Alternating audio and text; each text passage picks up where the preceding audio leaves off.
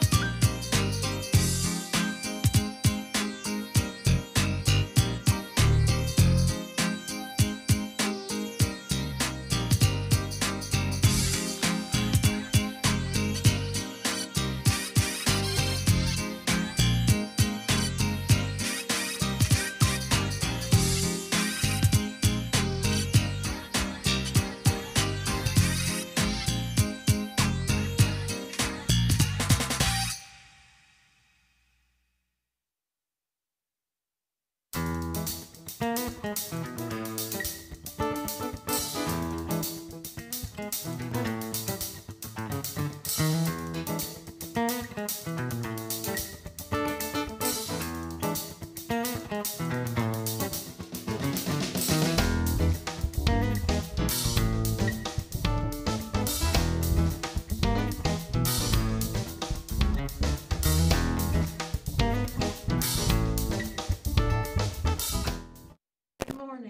everyone, and welcome to the February 10th Special Populations Committee meeting.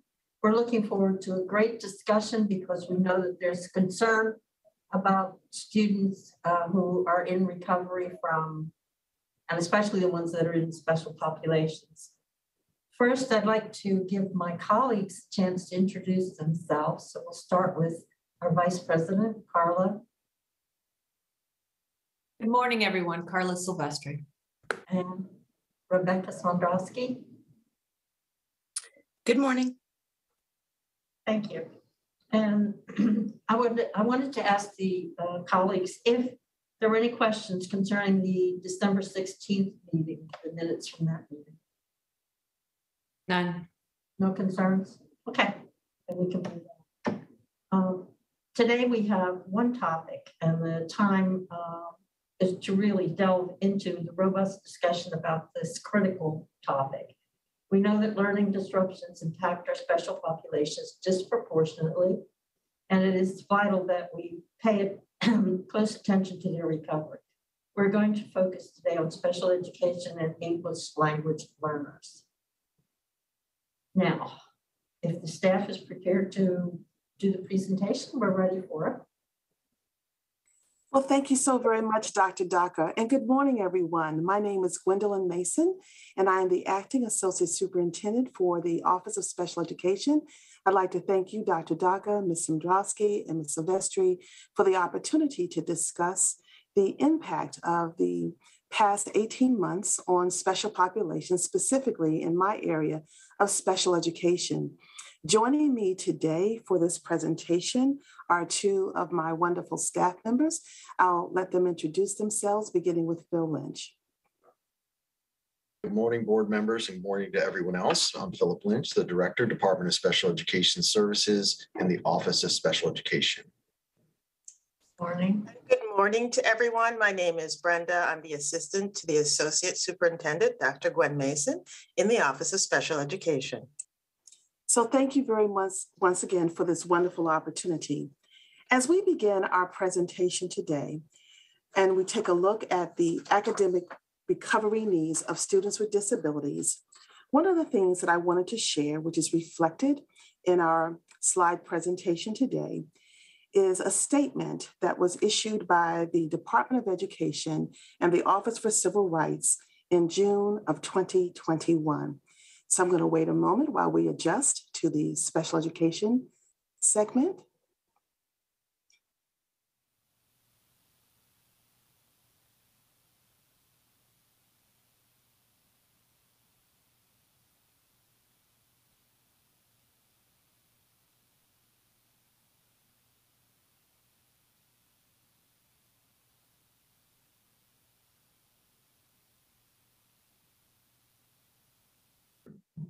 Say it again. Maybe they didn't hear you.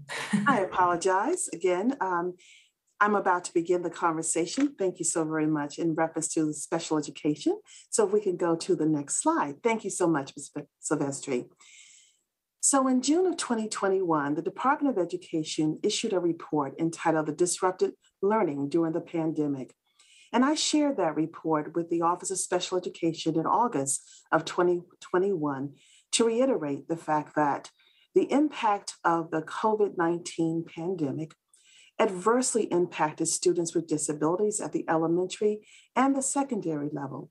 We know that due to the impact of the pandemic, many of our students were significantly impacted in the areas linked specific to their IEP for the services and related aids and supports that they needed in order to make progress. We know that because of the pandemic, progress and and the regression that many of our students experiences not only has impacted them for the school year and half that they were out of school, but most importantly, also for the fact that it exacerbated the learning disparities. And let me just speak to that for a moment. Prior to the pandemic, special education students were already performing significantly below their non disabled peers. So there was already a significant discrepancy. But now that discrepancy has been exacerbated because we know that the impact of the COVID 19 school closures definitely had an inverse, an adverse impact on the progress of our students. And so if we go to the next slide, we'll see that our school district at the beginning of the year, when they presented this information to the Board of Education, talked about the six areas of focus that was going to be significant to address the learning loss, not only of students with disabilities, but for all students. And there's an arrow beside certain specific areas that I want to make sure that we emphasize today as it relates to how the Office of Special Education is addressing this particular impact to students with disabilities. The school improvement planning process is an aspect that we have involved ourselves in with this year. Literacy and mathematics as an instructional focus, as well as tutoring and intervention and support and professional learning. If we go to the very next slide, you may recall, board members, that with the support of the Office of Shared Accountability and the Office of Curriculum and Instruction, you received information about the evidence of learning data, and it showed how this particular pandemic impacted the academic outcomes and performance of our students, comparing results prior to the pandemic and then the manner in which our students are functioning today.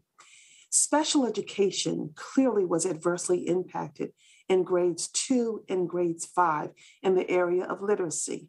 If we take a look at grade two, you'll see that during the 2018 2019 school year, 48.9% of students with disabilities had met the target established by MCPS.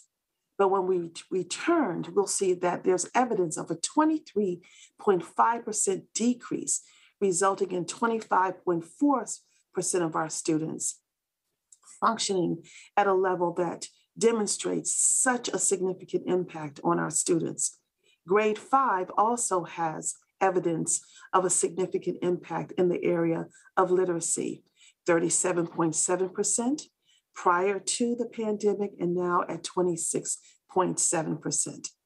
It's interesting to note that grade eight does not appear to have been as significantly impacted, but it does not mean that the work doesn't continue to need to be done for that grade range population.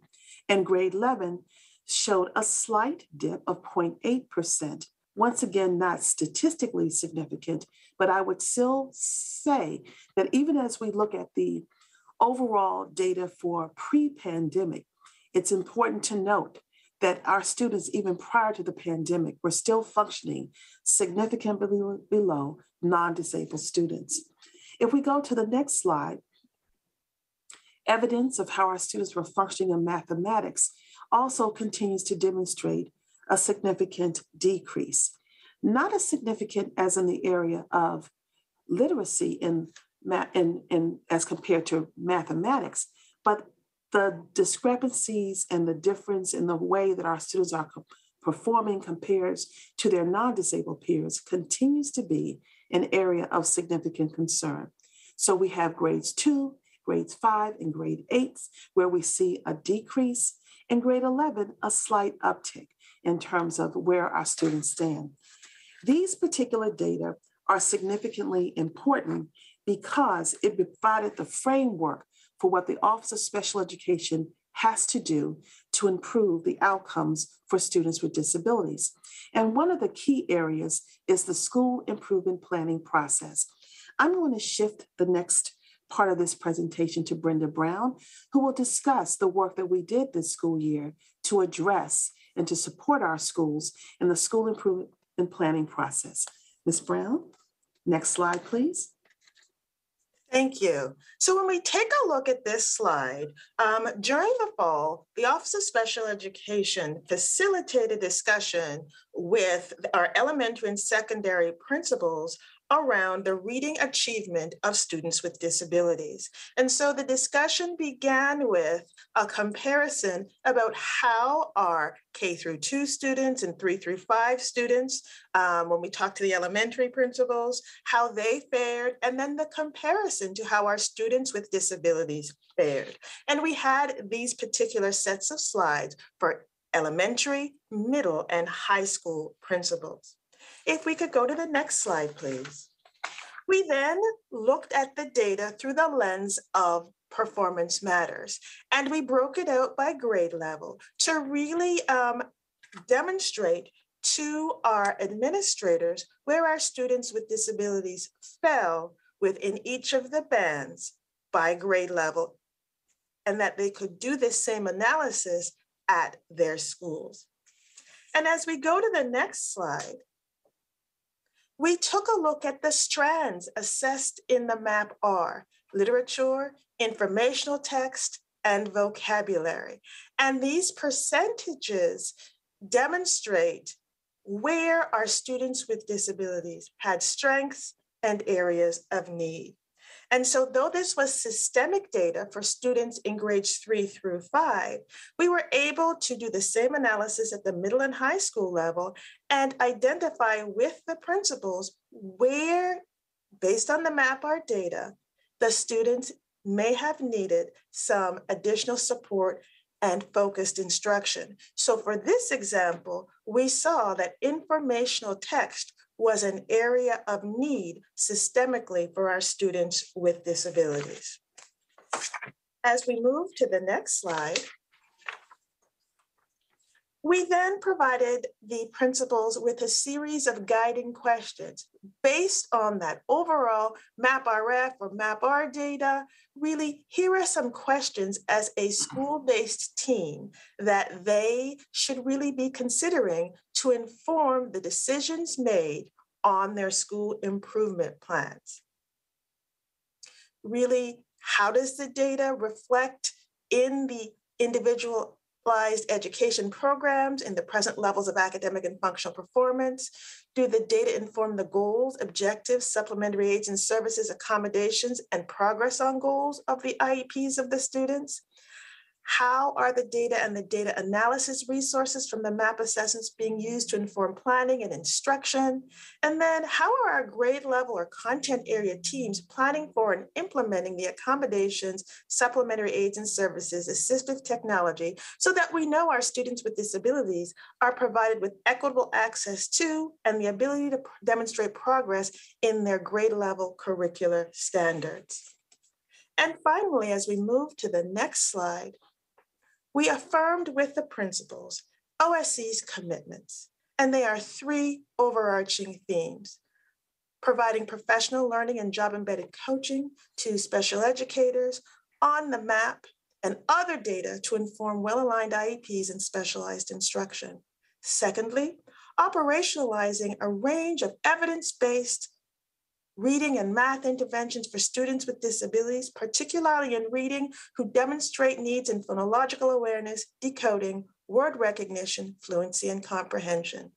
And finally, elevating assistive technology as tools to provide students access to and the ability to progress in the curriculum. So the continue professional learning and support in that particular area. I am now going to turn it back over to Dr. Mason, who will begin the discussion around compensatory recovery services. Thank you, Ms. Brown. Next slide, please. One of the requirements that every school system in the United States must do is to have discussions with parents about compensatory recovery services because it's the remedy when a student has not had the opportunity to fully benefit for the implementation of the Individuals with Disabilities Act and due to the negative impact that we know that the pandemic had upon students with disabilities.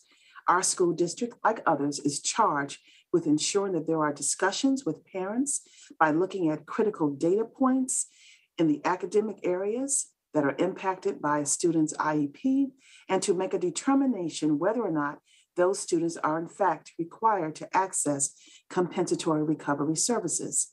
And while the school system began the compensatory recovery services discussions in spring of 2021, I took the opportunity to work with my team to develop a new enhanced training model that provided them with academic data based upon performance matters so that school teams would have evidence of learning data to ensure that decisions were made based upon real data that provided an excellent uh, set of documentation about how students functioned prior to the pandemic and how students functioned upon their return to school. Brenda Brown, once again, is going to now present to us the process that we use to share with school-based teams. And that included all special education teachers in our county, all related service providers in our county. We had many principals who participated in that discussion, psychologists, and other groups to ensure that they understood how we wanted to make certain that these discussions were rich with our parents so that we could properly identify students who in fact needed uh, compensatory recovery services. So Ms. Brown, if we go to the next slide, you can share So- this information. So during the professional learning session, we spent time really talking about data analysis. We identified the critical pieces of data that were in-depth and bound in the IEP. And then we wanted to also provide teams with access to performance matters links to analyze how the students performed pre-pandemic, during pandemic, and upon the return to school in fall of last year. So this is just a representation of the data that was collected um, for the discussion that we had at the professional learning session. And staff members who attended were walked through the process.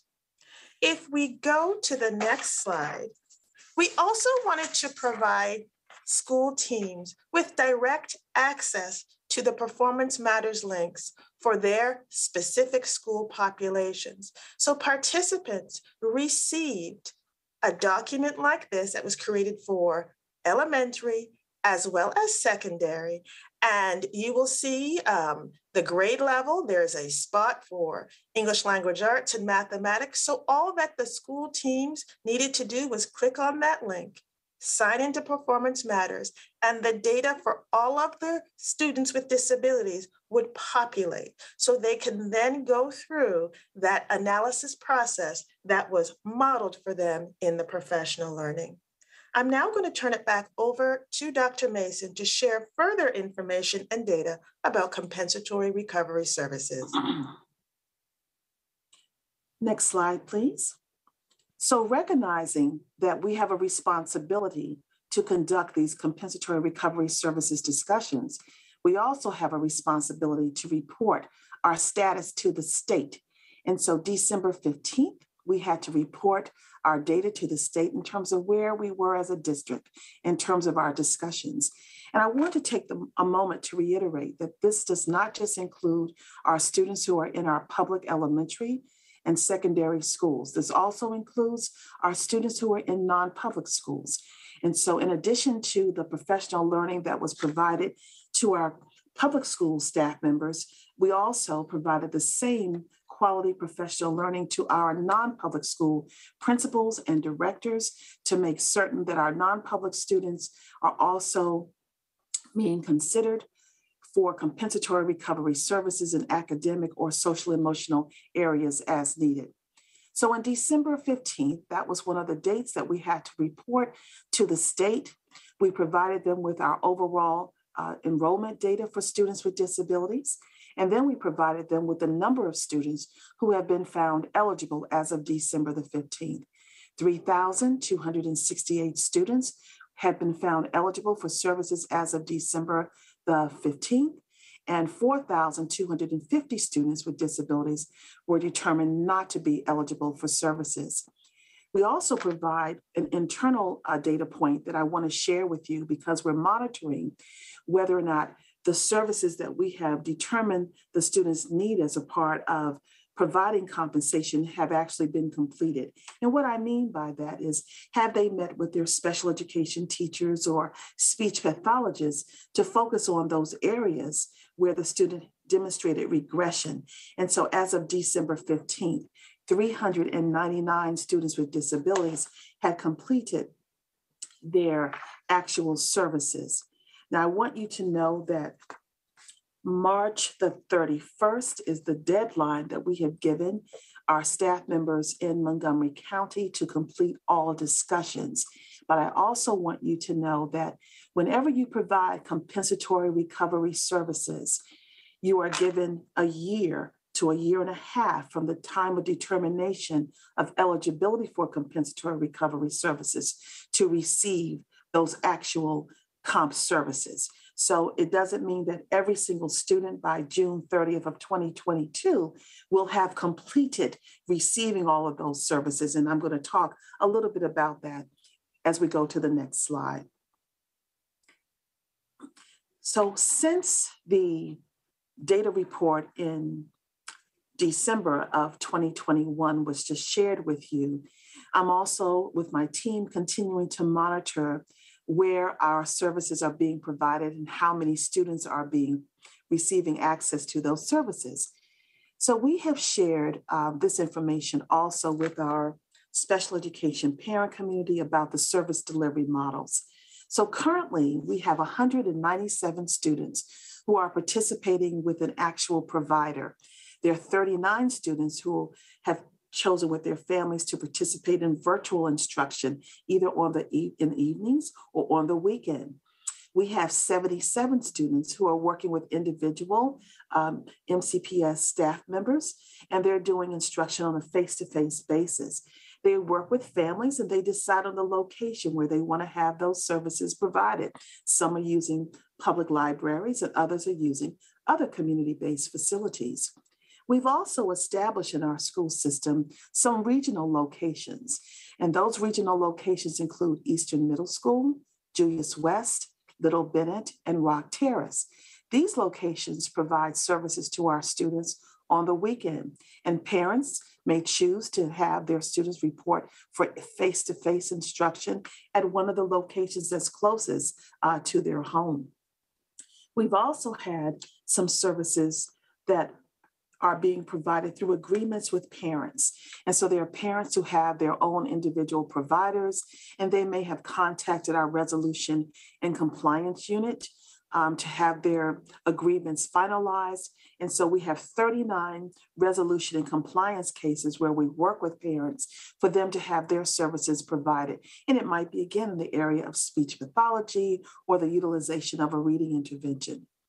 Because we're going to be offering compensatory recovery services during the summer, some of our parents to date have decided that they're going to wait until summer 2022. And our record as of uh, this week, uh, February 7th, indicates that 66 students will receive their services during the summer months.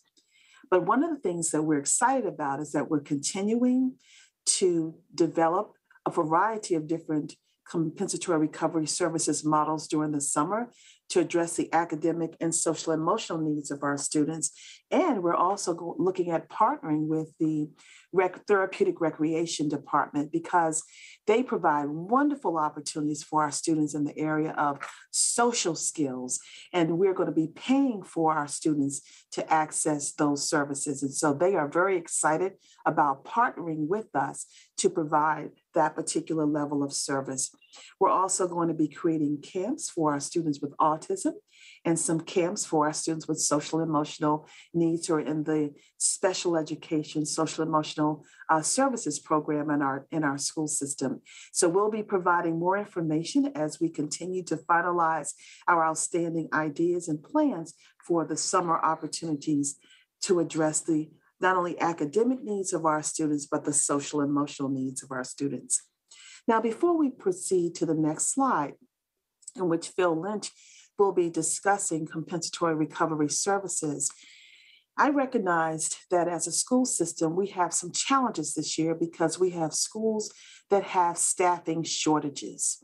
And we have been trying to address and support the needs of those schools. And one of the things that I asked Mr. Lynch to do was to reach out to those schools so that we can then figure out how to provide supports to schools where we know we have staffing shortages that might compromise the availability of providing direct support to our students. Mr. Lynch has done a fantastic job of doing that, and he's going to share um, his findings with you now. Thank you, Dr. Mason. This has uh, certainly been one of the biggest challenges that some of our schools have faced are those staffing shortages. Um, The Office of Special Education has uh, taken a proactive approach by contacting those principals, as Dr. Mason mentioned, with staffing shortages in the area of special education. And we did that with the goal of determining if they have students who are not receiving reading interventions due to that staffing vacancy. In our communication to schools, we shared that the Office of Special Education is committed to supporting schools with the significant number of vacancies with the implementation of evidence-based reading interventions for students with disabilities. We asked those principals in that survey to provide us with information about students who may fall into that category. The results of that survey indicated that there are seven schools, seven elementary schools who, who have been impacted with the provision of those reading interventions to students with disabilities as a result of those vacancies. Representatives from the Office of Special Education have that student-specific information, and we are working to contact families with the goal of connecting uh, that family and that student to a service provider who can implement that reading intervention outside of the school day.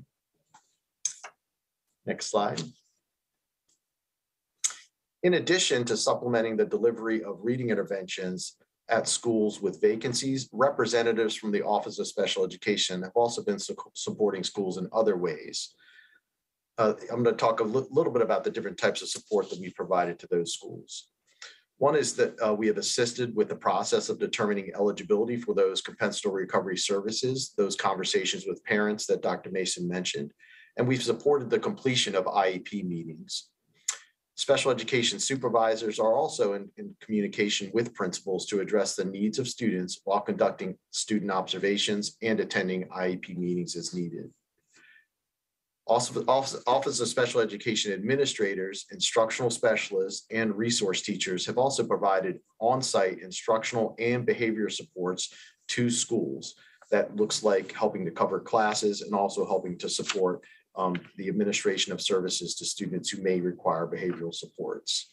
In several cases, we've established a regular scheduled coverage rotation to support those schools who have significant vacancies. Next slide. The Office of Special Education has also continued to provide professional learning opportunities to special education staff members using both live synchronous instruction as well as online asynchronous on, online asynchronous modules. We have partnered with the Office of Curriculum and Instructional Programs to provide professional learning opportunities associated with curriculum implementation.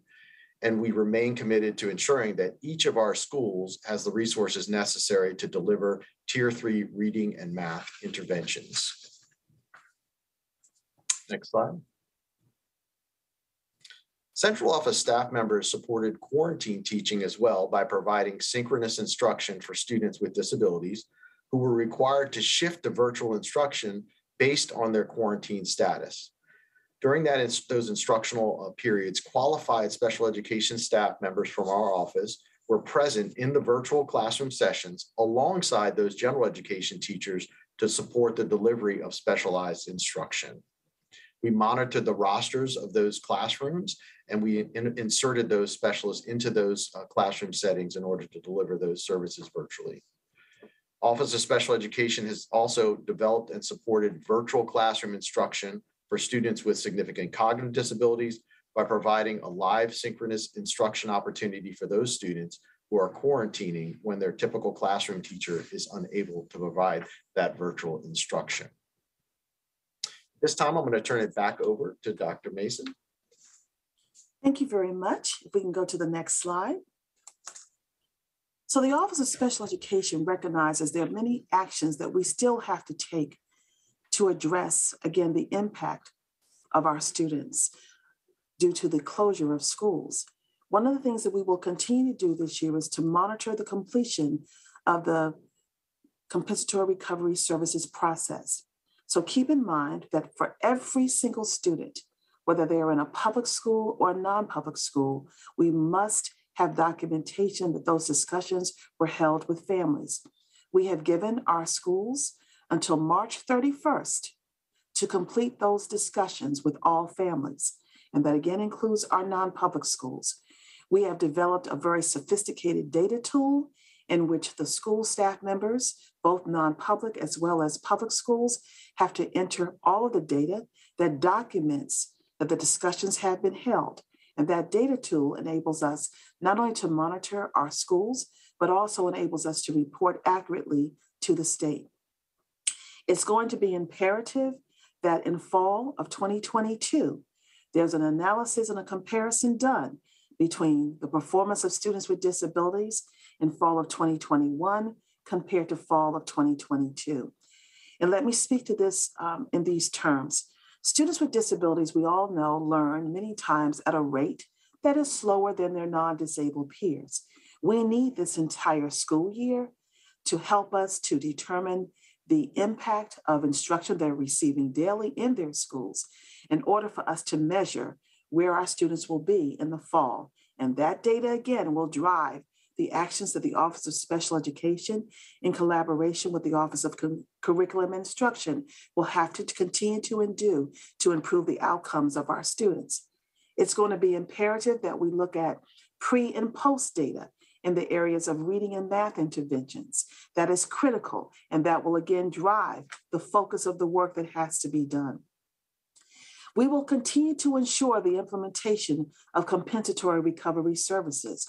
So next year, this time, um, if this presentation is uh, given the opportunity to be shared again, there should be updates in terms of where we are with compensatory recovery services and how it has helped to address and to mitigate the learning loss of our students. We also have to continue to be committed to the school improvement planning process. Central office has a responsibility to support our principals and our school-based staff members with improving the outcomes of our students. And we will continue to utilize uh, examples like were shown by Brenda Brown regarding how to interpret data and then best how to provide the instructional strategies necessary to improve the outcomes of our students. And finally, ongoing professional learning is critical because students with disabilities have very complex needs. Every year, we have new staff, we have returning staff. We want to make sure that we provide them with the best guidance around uh, professional learning, and we want to provide them with coaching. Uh, we are working right now with many of our schools. Uh, Carl Sandburg is an example of one, which Brenda Brown is drilling down right now and working with that school-based team around effective instructional strategies in the area of reading and mathematics.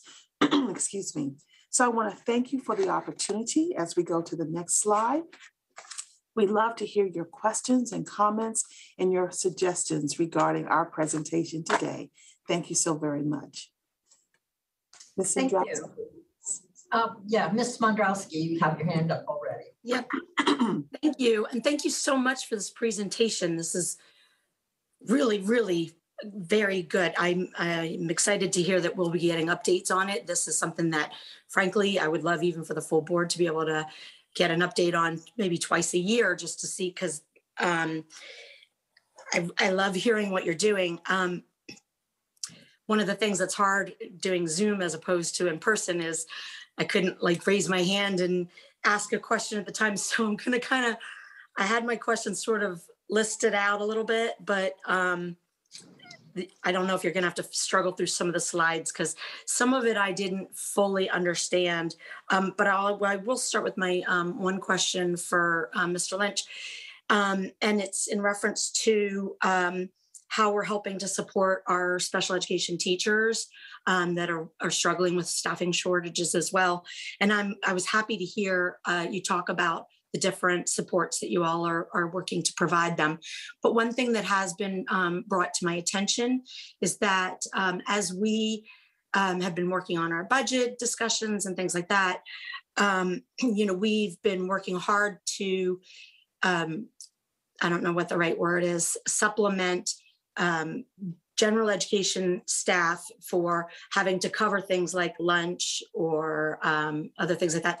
And um, the special education teachers don't necessarily all get that as well. Um, and so I just, um, it's not necessarily a question unless you tell me I'm completely wrong, but it just might be something to kind of look at um, as a part of how we help support them to make sure that they understand that they're valued and that they we recognize that they too are doing a lot of extra work um, under these unfortunate circumstances. Um, so my a couple of questions. I at first I wasn't sure that I really understood what the compensatory recovery supports meant, but I'm guessing from your presentation that it's sort of non-specific. It's it's making a determination with each individual student school and family to determine what that means. Is that correct? It's very specific to the individual student. And so, for example, if you have a student who has a, a, a, an IEP because they are dyslexic and they are demonstrating um, evidence that they have regressed in the area of reading, there would be an expectation that utilizing the data that Ms. Brown shared from Performance Matters and from the evidence of learning uh, data that's been shared broadly with our school system, we would be able to drill down and say, there is evidence that your child prior to the pandemic was functioning here. And now the level of regression is here. We need to provide that child then with compensatory services. And so we would then identify a teacher who has expertise in that area um, to provide that student with services. One thing I did not say, Ms. Smondrowski, that I'd like to respond to is that there's a period of time that the team also has to determine how long those services need to be provided. Oh. And that will also be based upon um, the nature of the student's disability. And so it could be 16 weeks, it could be 40 weeks, it could be, so we, it's very, very individualized, but it's very specific. Well, I love that. Um, but I'm surprised that only 197 students qualify out of, I mean, what, what's our total number of special education students? So just wanted to clarify that. I'm so glad that you said that because that was a, a slide that. a Like, that's not going to move the needle. No, so remember, that 197 only reflects the children who are right now deciding to participate in compensatory services right now. We're going to have to provide, and if we identify 10,000 children, which I suspect, that's how many children we're going to have to provide services for. So that was just a snapshot of right now the number of children who are actually in situations where they're meeting with a provider, whether it's a speech pathologist or a special ed teacher, to receive services. And that we know that we still have until March 31st to complete these discussions. So thank you for asking that question. Sure, because I was going to say, can can parents or students request special services if um, if they've seen a decrease, a decline in their particular students' uh, overall performance and grades? And again, that that with the student population that we're talking about is specific to March 20, 2020 through Mhm. June 2021. It is that group of students who were adversely impacted that we're looking at for this service. Okay. Um, one more question and then one more, one overall type of thing. Um, students with emotional um, disabilities, um, I'm not sure what, if that's the proper terminology, but um, how are we, I know that for a lot of them, a lot of parents that I've heard from over the pandemic, you know, the online learning was an, an extreme challenge for a lot of them being able to sit and focus, not having the uh, in-person support. Um, how do you make up for that kind of loss? Like, you know, that's not just something that you can put um, a reading specialist in front of to say, I mean, yes, we need to do that too if like they've lost ground in reading, but how are we working to try and help support those areas of issue as well?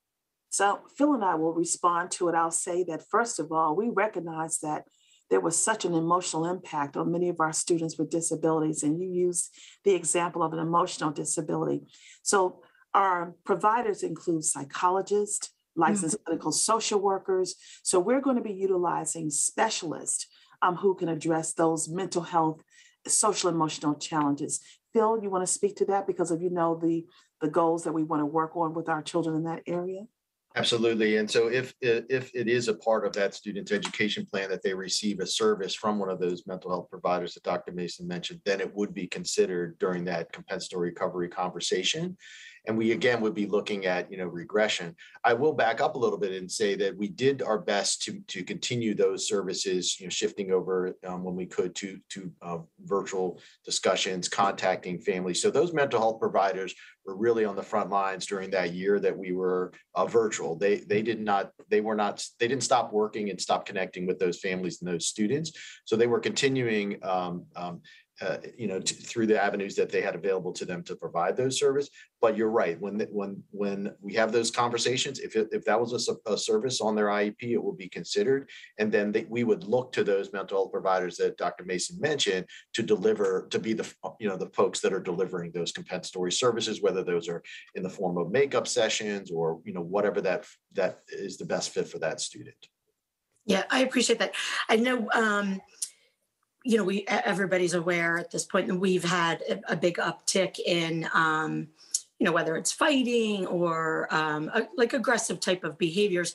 And, you know, we frequently hear that there's a lot of it could potentially have been from kids, all kids having been um, isolated for so long and all of that kind of stuff. And so it just really, I, I constantly am thinking in terms of, you know, like uh, students who are getting in trouble and then it's on their IEP that they had, you know, they don't, they don't do well with um, confrontation with adults and things like that. And I'm just, I want to make sure that we're doing everything we can to try and support those so that doesn't go straight to disciplinary action, but rather we're recognizing that they perhaps were lacking in some of the supports that they um, may need. Um, which kind of brings me to my final overall thing. This is amazing. And maybe the answer is to uh, Dr. Mason's point that we um, are just in the beginning process. We've only identified 197 specifically so far, or maybe we that's how many are actually receiving, right? So right now, so Right, so right for right now. So we've completed three hundred and ninety-nine actual um, compensatory recovery services as of December fifteenth. And then right now, hundred and ninety-seven additional students are getting those services being provided. But I Okay. suspect when we really finalize these numbers, will be between 10, 11,000 students that are ultimately going to be getting those services. Okay, and that'll be finished by March, did you say? So what will be finished by, what will be finished by March thirty-first are those discussions that identify who's entitled to get compensatory recovery services. But when it comes to the timeline for actually delivering those services, we Mhm. have, for example, a year to a year and a half because we have such a window, you know, eighteen months of children. So that's how that works. Okay, so that helps me a little bit because my question really is, and you know, I, I try very hard to think of ways to say to ask this without it coming across in, an, in a, as a negative. But I'm just going to put it out there. You know, it feels like we're doing as as much as I can. Listening to this presentation, I would say it seems like we're doing as much as I can think of to possibly do. And so, I guess my question is you know, I you, there's still students who are struggling and parents who are still upset. What more can we do? Like how how can we really, if we're looking at every child and individually, eh, you know, identifying student needs and additional supports and all of that, is it working? And if not, why not? And what can we be doing? So thank you so much. Um, one of the things that we believe in the Office of Special Education is being accessible to our parents. Any parent who has a concern, they can reach out to me, they can reach out to Mr. Lynch. We will try to work with them case by case. I've done it historically over the years. I've always opened up my door to every single parent, and that's our philosophy. Special education is complex without question. and we realize that, and we want to support our parents through this difficult and, and, and complex uh, framework. So I want to make sure, and Phil and I have even said to the Special Education Advisory Committee leadership members and to them, if you know of any parent who has a concern, we mm-hmm. want them to be also a source for us to help us to get to those parents. So we was just want you to know as, and even as board members, I know many of them respect you all so very much. Please direct those parents to us so that we can provide them with support. We'll be happy to do that. And so we're going to just do our very, very best. I will tell you this, that the we're using evidence-based practices, we're using professional learning, we're using everything that the research says we're supposed to do. But we also know that there's a lot of work that still has to be done. So please direct those families to us so we can support them. I appreciate that very, very much. And I will do that. I know that it's, you know, one of those every parent wants as much as they can to help their each child. And I recognize that as a, a system, we can't necessarily just tell everyone, oh, if that's what you want, okay. Um, because it's That's just not reasonable both right. financially and in in manpower and whatever resources but um but i do know that you know from my own personal experience trying to figure out what it actually takes to Mhm. make your child be successful can sometimes be quite a process Yes. and be very frustrating and if so i just appreciate the work that you all are doing to be direct with parents and and um, personal with parents because it, it makes a difference it matters so thank you all for your work Thank you so much, Ms. Smondrowski. Thank you, Dr. Mason and Dr. Lynch and Dr. Brown. Now I'm going to go to Ms. Silvestre to see if she has some questions. Thank you. Um, a couple following up on Ms. Smondrowski's, just making sure I understand the numbers. Um, twenty thousand five eighty-five special ed students enrolled. This was your slide. 32 3268 are already uh, compensatory, compensatory recovery services eligible. So you've already had those conversations with three thousand two hundred and sixty-eight families about their students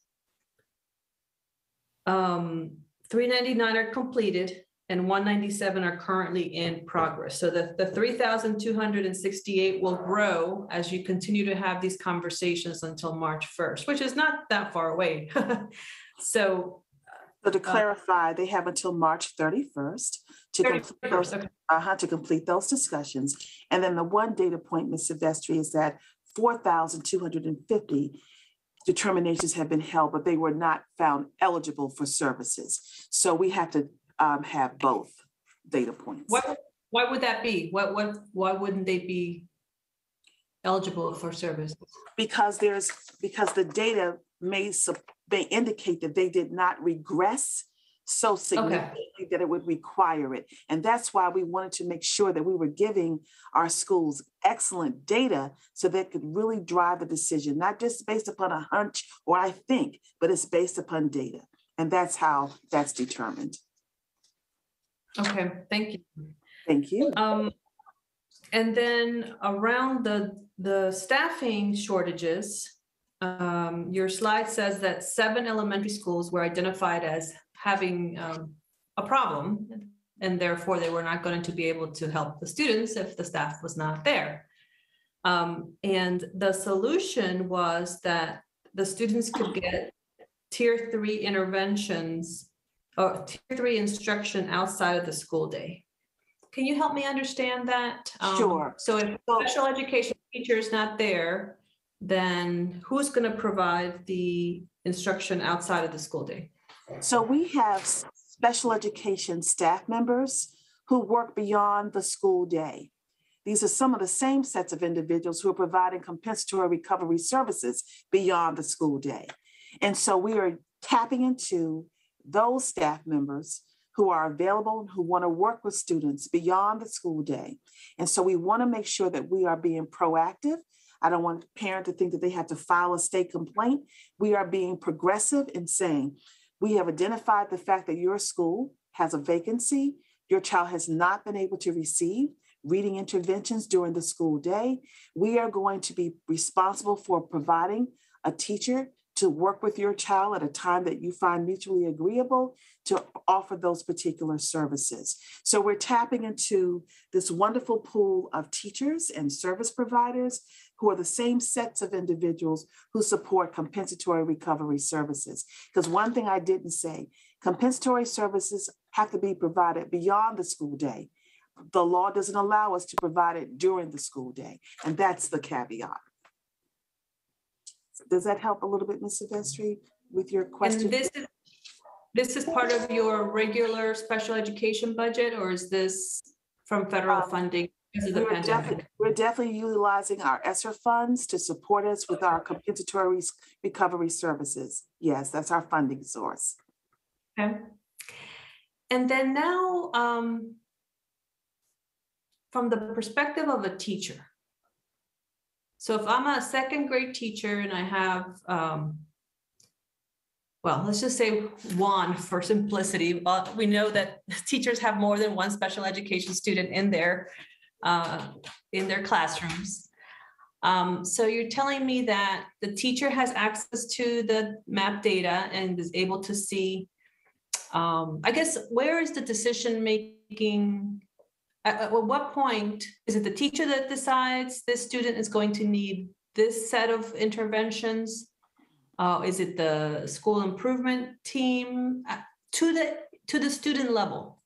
So Ms. How- Brown is going to respond to that question. It's a good, great question, Ms. Silvestre. Ms. So Brown. Ms. Silvestre, um, and I'm speaking from actually having done them in my past position at a school last year. And so as a special educator, I know that Karla Silvestre is one of the students that I case manage, and Karla Silvestre has goals in expressive language and speech, um, and reading and writing because she's a student with dyslexia.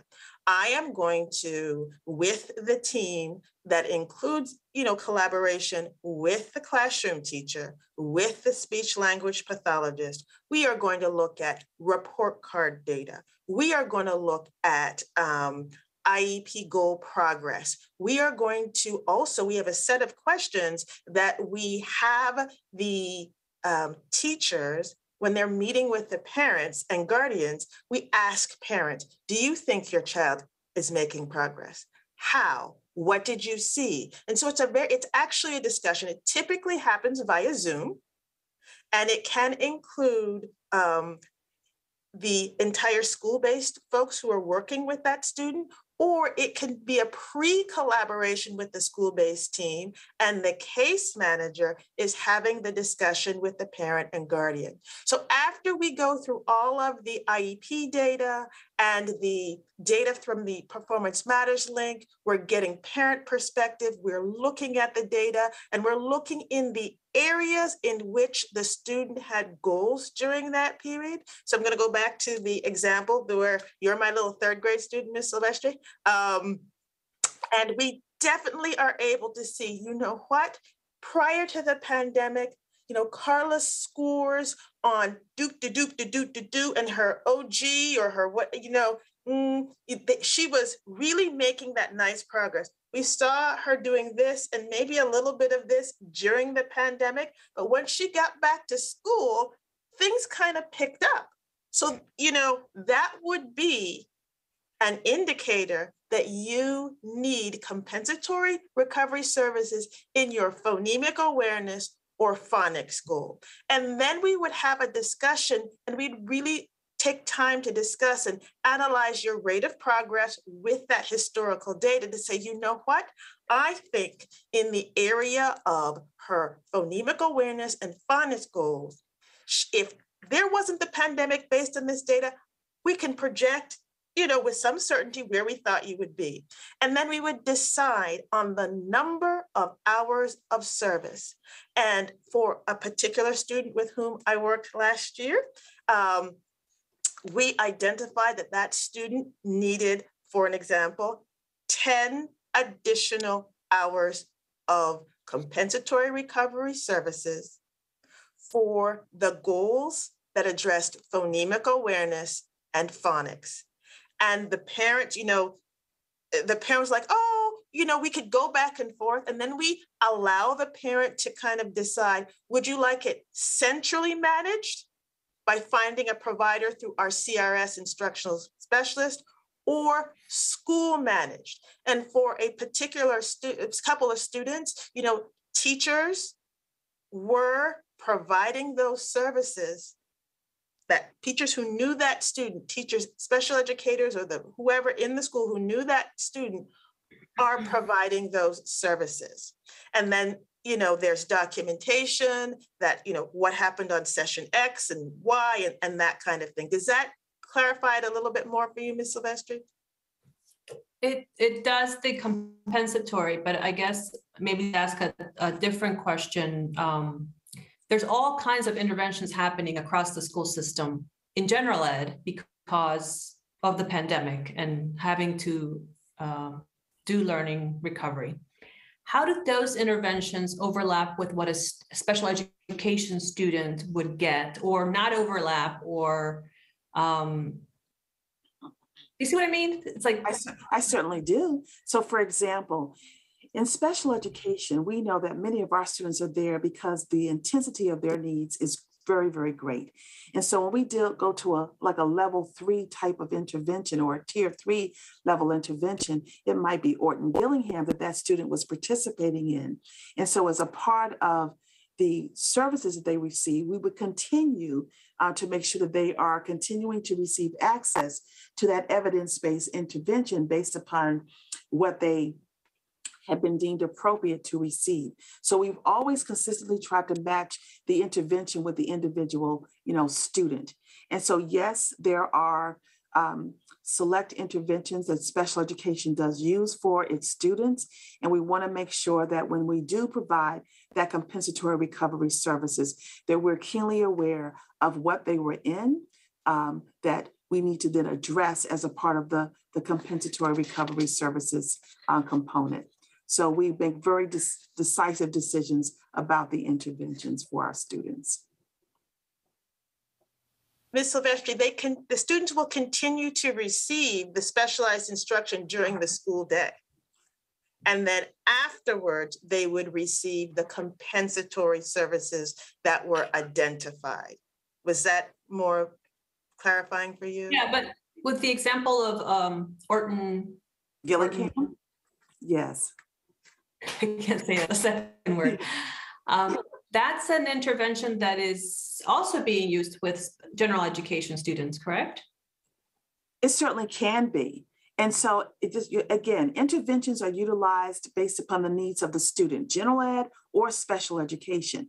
But since our focus um, with our special population students, we know that um, our school district chose Orton Gillingham as one of those specific interventions. So a student can get that during the day, but it's evident that if there's still, if the CRS discussion yielded outcomes that said, there's still a major deficiency in the area of reading. We want to continue to provide that additional uh, service beyond the school day. So that, that's how it's that's how it's addressed. Okay, thank you. Thank you. Uh, That those were all my questions. Can I, can I ask a follow-up question to that? Dr. Docca? I, I I wanted to, well, there are several things I wanted to say. I was concerned about slide 15, but both Ms. Smondrowski and Ms. Silvestre have asked questions about the numbers. And uh, I just wanted to say that every year in special ed, you have to look at the IEP and figure out what needs to be done. So this is not different, except that it's massive. It's much more than they usually have to do. And I really appreciate what, what Ms. Brown or Dr. Brown? Ms. Brown? Ms. Brown, for now, I'm looking into the document. Okay, Ms. Brown explained exactly how it works from her perspective because she has done it. And I, I really did appreciate that, especially the part about after school, because a lot of people might not know that. And if they do it at the school and it's after school, we provide transportation. Some of our elementary students have been able to stay after school and then, um, not elementary, I'm sorry, middle school students, because they have those activity buses and things of that nature. I will say, uh, Dr. Docca, that um, for compensatory services, transportation is not a legal requirement. So I don't want anyone to think that we're violating a parent's rights. Um, it's not legally required, but we do have to make sure that we do provide the service, but transportation is not a legal requirement. Yeah, I thought that, that we should talk about service, especially when we're talking about after school. And, Okay. and other places where a teacher might meet is similar to our program for students that are ill or can't come to school, and we have a, a core of persons who are able to work with them. So this is uh, very similar. Uh, Orton Gillingham, would you describe that for the parents and the others in the audience? What is it exactly? Ms. Brown, would you like to describe Orton Gillingham?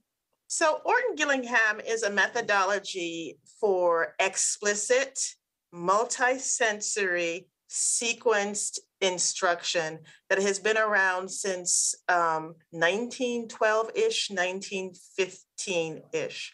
And so any evidence-based reading intervention worth its salt uses Orton Gillingham methodologies.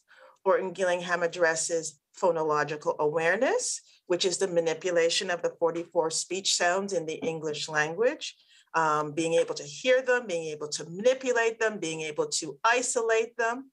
And then moving on to phonics, which is that sound symbol correspondence.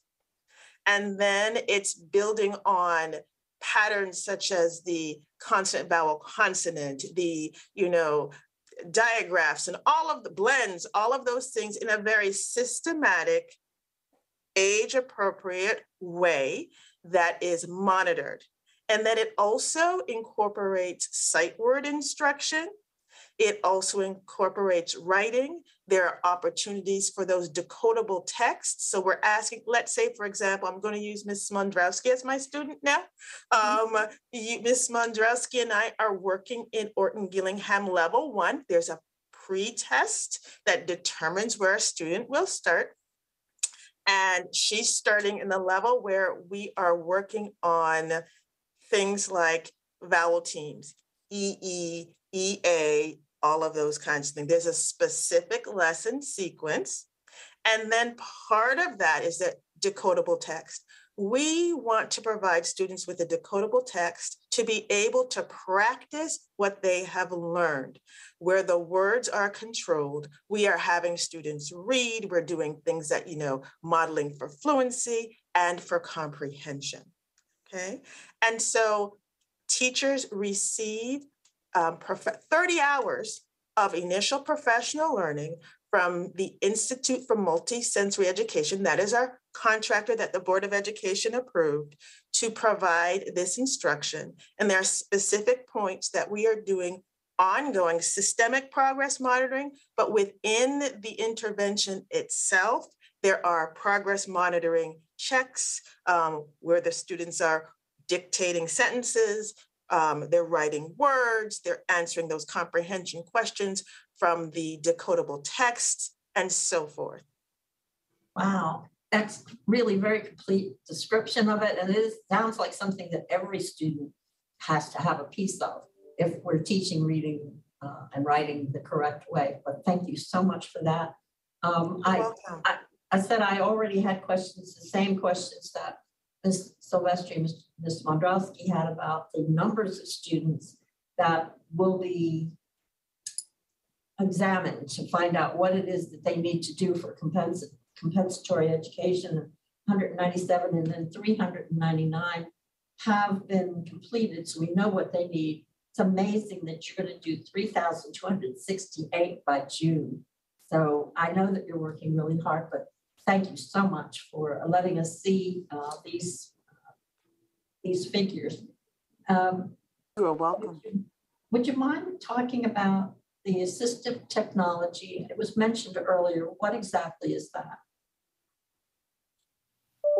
Brenda or Phil, I know that uh, Brenda was referencing your slide. Yes. For an example, we have two teams um, in the Office of Special Education who work with assistive technology. The Hyatt team, the High Incidence Accessible Technology team, as well as the Interact team. They serve two different student populations. Typically, our Hyatt team supports our students who are pursuing grade level outcomes and advancing towards a high school diploma. Our Interact team typically supports students um, who are pursuing alternate learning outcomes who have significant cognitive disabilities because their communication needs are complex and different than their less disabled peers. Okay, so I'm going to really focus more on the Hyatt team um, service provision. They have uh, specialists that go out and will support schools in identifying the appropriate assistive technology tools such as text to speech, speech to text. So, text to speech, there is a um, computer program that is available on the Chromebooks of every student with a disability and an English, uh, a student who is an EML, emergent multilingual learner, that will provide speech to text. So there is text, they learned how to use this um, software and it will read the text to the students. Oh, okay. So that they can access grade level curriculum by mitigating their issues with decoding or phonological awareness.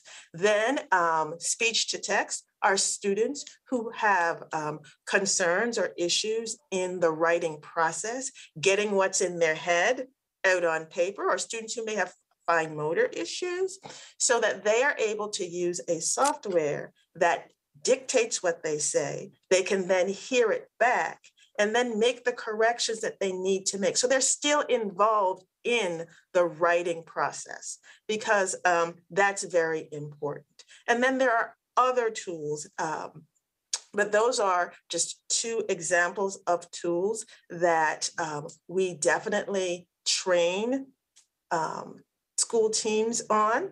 And they, we, um, then the school-based team will work with the teachers and the students to ensure that there is ongoing access. I have coached students on how to use these tools. I have coached parents um, on how to use those, those tools. Um, last year, there was with, and I always get this office right, is it OFSE? The Office of Student Family Support and Engagement under uh, Mr. Everett Davis. They had parent academy sessions with the staff members from our office to be able to present these tools to our parent guardian community to really increase knowledge, access, and awareness, and how even, you know, giving that parent guardian say, to say, hey, did you use your blah, blah, blah for your homework today? So, because it's on the, the Chromebooks that the students have, and they can be transported, you know, back and forth um, from school to home and, and vice versa. Well, thank you again. Um, Ms. Silvestre, did you have anything else that you wanted to ask? Thank you, Dr. Docca. Yeah, um, I understand that the district is, uh, moving away from balanced literacy to structured literacy. And, um, just in layman's terms, because I'm not an educator, what does that mean for special education students? I am going to ask Ms. Brown to answer that question because she is an expert in the area of reading. So I'll let her respond to that. So I have to say that is an exciting um, opportunity. Um, I have um, been working with Malika Brown, the elementary ELA supervisor, um, in discussions with respect to that. So structured literacy focuses on the five components of reading. Phonological awareness, phonics and word recognition, fluency, vocabulary, and comprehension. And so structured reading provides, again, a systematic, multisensory, tightly sequenced instructional strategies that support students being able to get to know how to read in those areas. And that structured literacy really focuses on, they're the two pillars that, you know, really focusing on that. Um, basic that foundational skills, phonics, phonological awareness, word recognition. Because really, when we think about this, I could go on forever and tell me if I'm getting too technical, but there, the, the simple view of reading, really that word recognition multiplied by the language equals you're, you're, you're rocking and rolling in reading. Sometimes our students lack the um, pieces in the foundational skills, which will then negatively impact their reading. It's like a multiplication sentence, okay? So if you're zero at the phonological awareness piece multiplied by one, you've got the comprehension speech piece. Your overall reading is going to be at what? Zero, because zero times any number is zero. But if you're one in the first area, multiplied by one in the second area, your overall reading is going to be a one. Does that make sense to you, Ms. Uh? So it's a good thing for, It's a good thing for all students because it will, in my humble opinion, it will decrease the rate of referrals for students with to, to special education because we're providing everyone, it's a tier one instructional focus so that all teachers um, will, you know, will know how to provide that excellent first instruction in those areas, in addition to the language comprehension pieces of, you know, text structure and all of the go, those good things that in vocabulary, all of those good things that make a good reader. great, thank you. You're welcome. Ms. Maybe I should get my doctorate in reading. What do you think? Definitely you should. um, so I'm trying to remember um, what I was going to ask about, but it was in reference to what uh, Ms. Silvestre was asking about um, before. It. Oh well, let me start with this. All of this, this, um, this stuff that we're doing, the compensatory recovery services, is that just for now? I, I'm assuming it's being funded by um, COVID um, funds, like federal funds or whatever. So if we see tremendous gains through this, um, are we? are- I'd love for us to be able to keep track of the fiscal um, aspect of it, so that if it's something that we need to talk about in our um, operating budget discussions, um, we can look at trying to find ways to continue some of these practices going forward uh, beyond the funding of the federal um, support. Um, so that's not really a question, just kind of the question was, is this only now or is this something we'll likely be doing for a long time? Or is going to be over in two years or maybe we don't know, but um, I just want to make sure that if it's working, that we have what we need to continue it. Thank you so much. Uh, we do have our ESSER funds. Uh, we feel that to, to fulfill the requirements that the U.S. Department of Education has set, we, we do feel that we have sufficient funds from that budgetary perspective to complete the discussions for all 20,000 some odd students. I will say to you that um, there has never been a time before in the history of special education that a school system has been asked to convene these kind of discussions for every single student. But that's just because of the horrible impact that the closure of schools had on our students. But compensatory recovery services or, or compensatory services has always been a legal remedy whenever a school system fails to provide the provision of services for a student. So regardless of whether or not there's a closure due to pandemic, for other reasons, if a, if a child has been denied uh, access to services, we always have a legal obligation to have that discussion. Oh, okay. I didn't know that. Yes. Um, okay, then this um other last question is probably a little more complicated than it should needs to be, but it's about um IEP goals progress. Um, I, as a parent of a special education student, I pretty much always re- like every one of the goals always read in progress, in progress, in progress. I'm I guess most of them didn't get to be completed because they were the type of goals that had ongoing, um, you know, like, you know, you know, it's not like a cured or a um, completed necessarily ever, but um, how would how do we indicate on IEPs if a child is not has been regressing in their progress or what I'm I guess what I'm I'm not sure how to ask the question, but is everything just kind of always in progress if it's not mastered or is it are there because I hear from some parents who have said, "Oh, my kids, I, you know, the report card's all wrong because my child's really struggling, but their goal reads in progress, and their their grades have gone down. So, is it really in progress, or is it, how do we identify that, and how do we, you know, like,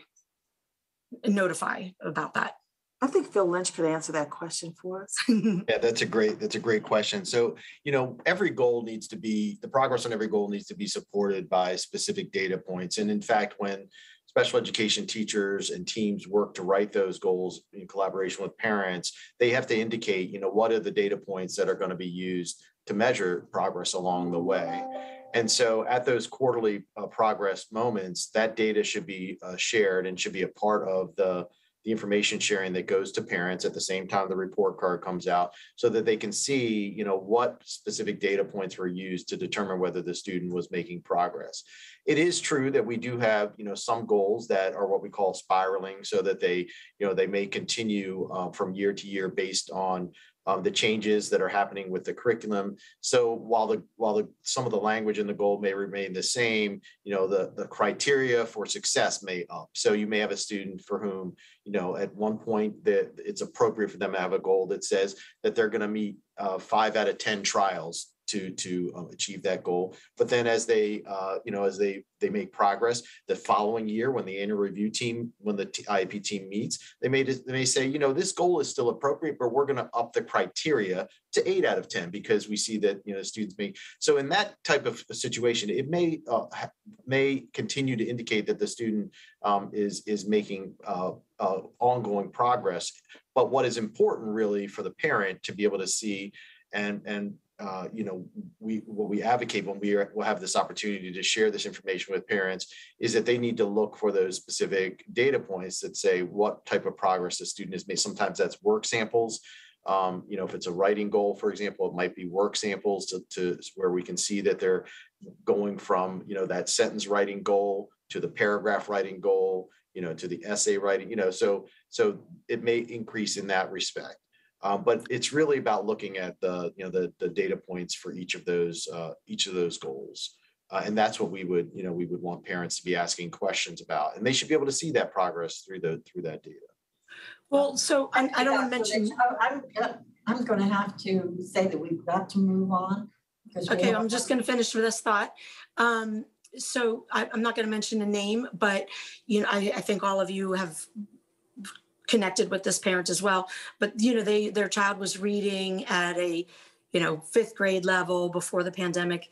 They they were after eight months, whatever, reading at a third grade level type of thing. But their IEP still read in progress, and that parent was very frustrated by the is it just always in progress if they're making declines and i'm just i'm trying to figure out how we are letting parents know that we recognize. But I, I understand this individualized instruction aspect should address that. But just overall with IEPs, sometimes if we can figure out how to let parents know that in progress doesn't mean that we don't recognize that the challenges may have increased, I guess is sort of my thing. And then just finally, as um, uh, Mr. Lynch, as a follow up, um, I did hear from a special education teacher who wrote the class coverage increases in pay for teachers covering for teachers doesn't apply to special education teachers having to cover for absent para educators during their non-teaching periods. Um, they lose just as much time, if not more, and don't get any acknowledgement. So if we could just look into that and you could do a follow-up on how we're going to address it, I would appreciate it. Thank you. Thank you. Um, I want to thank you all for the presentation, for the specificity because these are things we really need to know about. And um, I, I'm just going to have to take time here. I had 125 students out of 650 that were reading, were receiving special ed services.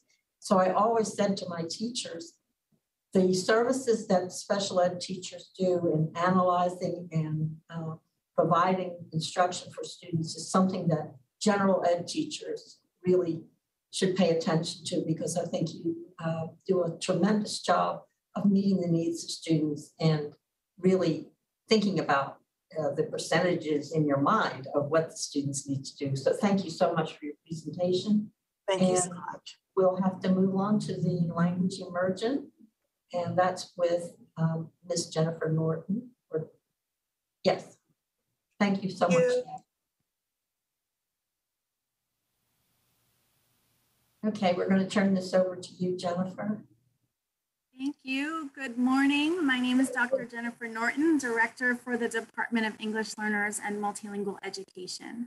I am joined uh, with co-presenters Tamara, Tom, sorry, Tamara Hewlett and Sandra Blotner, who are the supervisors for elementary and secondary ELD programming respectively. I am so pleased to be here today to provide an update on our programming and supports for our emergent multilingual students who we know have been impacted by the pandemic over the past two years. Next slide, please. Today, we will focus on three key areas. First, I will share an overview of the newly formed department and key data that focuses in on recently enrolled students. Then Tamara Hewlett will present on um, elementary ELD and SLIFE programming and interventions. And Sandra Blotner will discuss secondary ELD and METS programming. Next slide. As a new department, we bring together many different aspects of programming for emergent multilingual learners, also known as English learners. We manage the Title III grant, the enrollment count provided to the Maryland State Department of Education, staffing allocations for teachers and paraeducators, and we manage access test administration in collaboration with the Office of Student Accountability. Um, we continually refine our data collection and are you know, really trying to use our data to drive planning and progress monitoring. Um, we also manage the Title VI American Indian Education Program, which provides an evening tutoring program for students who are American Indian. Um, we also organize the annual English Language Development Student, Teacher, Principal, and Community Member of the Year um, awards and the nomination um, window will open in early March. Um, as you might know, our department unfortunately experienced a heartbreaking loss a few weeks ago. Our two-way immersion coordinator, Andy Gomez, an incredible person, an inspiring bilingual educator, passed away. The team is still processing this loss, but one step we are taking to honor his memory um, and his impact on students is to introduce a two-way immersion Teacher of the Year award this year. In a few slides, you will hear more about the department's programming and supports in elementary and secondary schools. You will learn about the work we are doing on co-teaching and content area collaboration, which help afford emergent multilingual students both rigor and support within content instruction. You will hear about two-way immersion programs and our specialized supports for students with limited and interrupted formal education. And you will hear an overview of the interventions and professional learning our teams provide. Next slide. Um, I do want to frame by sharing that the work we do is guided by the four big ideas stated in the State English Language Development Standards Framework. First, equity of opportunity and access. Emergent multilingual students have the right to equitable access to content and language instruction, and we believe our students can do amazing things when appropriately um, and simultaneously supported and challenged. Second, students benefit from integrated content and language instruction, which you'll be hearing more about in the coming slides. Third, emergent multilingual students are everyone's students and collaboration is key for fully supporting student success. Fourth, students learn best when they interact with and use language for a purpose, such as explaining a math strategy to a friend. Um, our department's vision is that all MCPS teachers and school leaders provide integrated content and language instruction that is responsive to emergent multilingual learners' languages, cultures, and social emotional well-being. We are also guided by the MCPS Board of Education policy on non-discrimination, equity, and cultural proficiency, uh, which states MCPS will work toward empowering emergent multilinguals, English learners to master social and academic English using their first languages and cultures as assets to thrive in school, college, careers, and as global citizens. MCPS will provide access to rigorous coursework and equal access to comparable academic programs, both among schools and among students within the same school without regard to actual or perceived characteristics. We know that the pandemic has adversely affected our emergent multilingual learner students and that our grounding in these principles and vision are more important than ever to support students' growth and well-being. Next slide. As we work towards continually refining and improving our programs, we are undertaking a program evaluation requested by the board. The Center for Applied Linguistics will lead the work with guidance from a commission of stakeholders. The evaluation will include document review, classroom observations, focus groups, quantitative data review, an interim report, and a final report. We look forward to this deep dive into our programming to gain recommendations on high leverage changes to processes and structures in order to optimize students' educational experiences and outcomes. Next slide. So as you know, the number of students who are emergent multilingual learners has increased this year um, with a total of 29,714 students overall. About half are in the beginning stages of learning English. Next slide. Um, we know that data on um, our emergent multilingual learners EOL performance has already been presented to the board, so we are not going to re-present it here. However, we are going to provide a spotlight on newcomers who have enrolled through the International Admissions Office since this summer. As you know, MCPS has been welcoming new students throughout the school year. This slide zeroes in on the students who have been enrolled through IAE and have been identified as eligible for English language development services. By the end of the first marking period, nearly 1,000 students were newly identified as emergent multilingual learners. Of these, 128 were identified as having limited or interrupted formal education, also referred to as SLIFE and those students are receiving additional supports to accelerate their learning. The number of newly enrolled emergent multilingual learners nearly doubled by the end from the end of marking period one to the end of marking period two, with the biggest jumps at the high school level. And we now have 302 students who are newly enrolled who have been identified as SLIFE. And of these students, we have only a slight number of newcomers who have unenrolled. I think it's 17 in all of this group of newly enrolled students. Next slide. We are monitoring attendance for newcomers as shown in this slide. Um, a large number of newcomers have been absent for 10% or more of school days. The column marked NA means the students are so newly enrolled that they do not have enough attendance data to flag.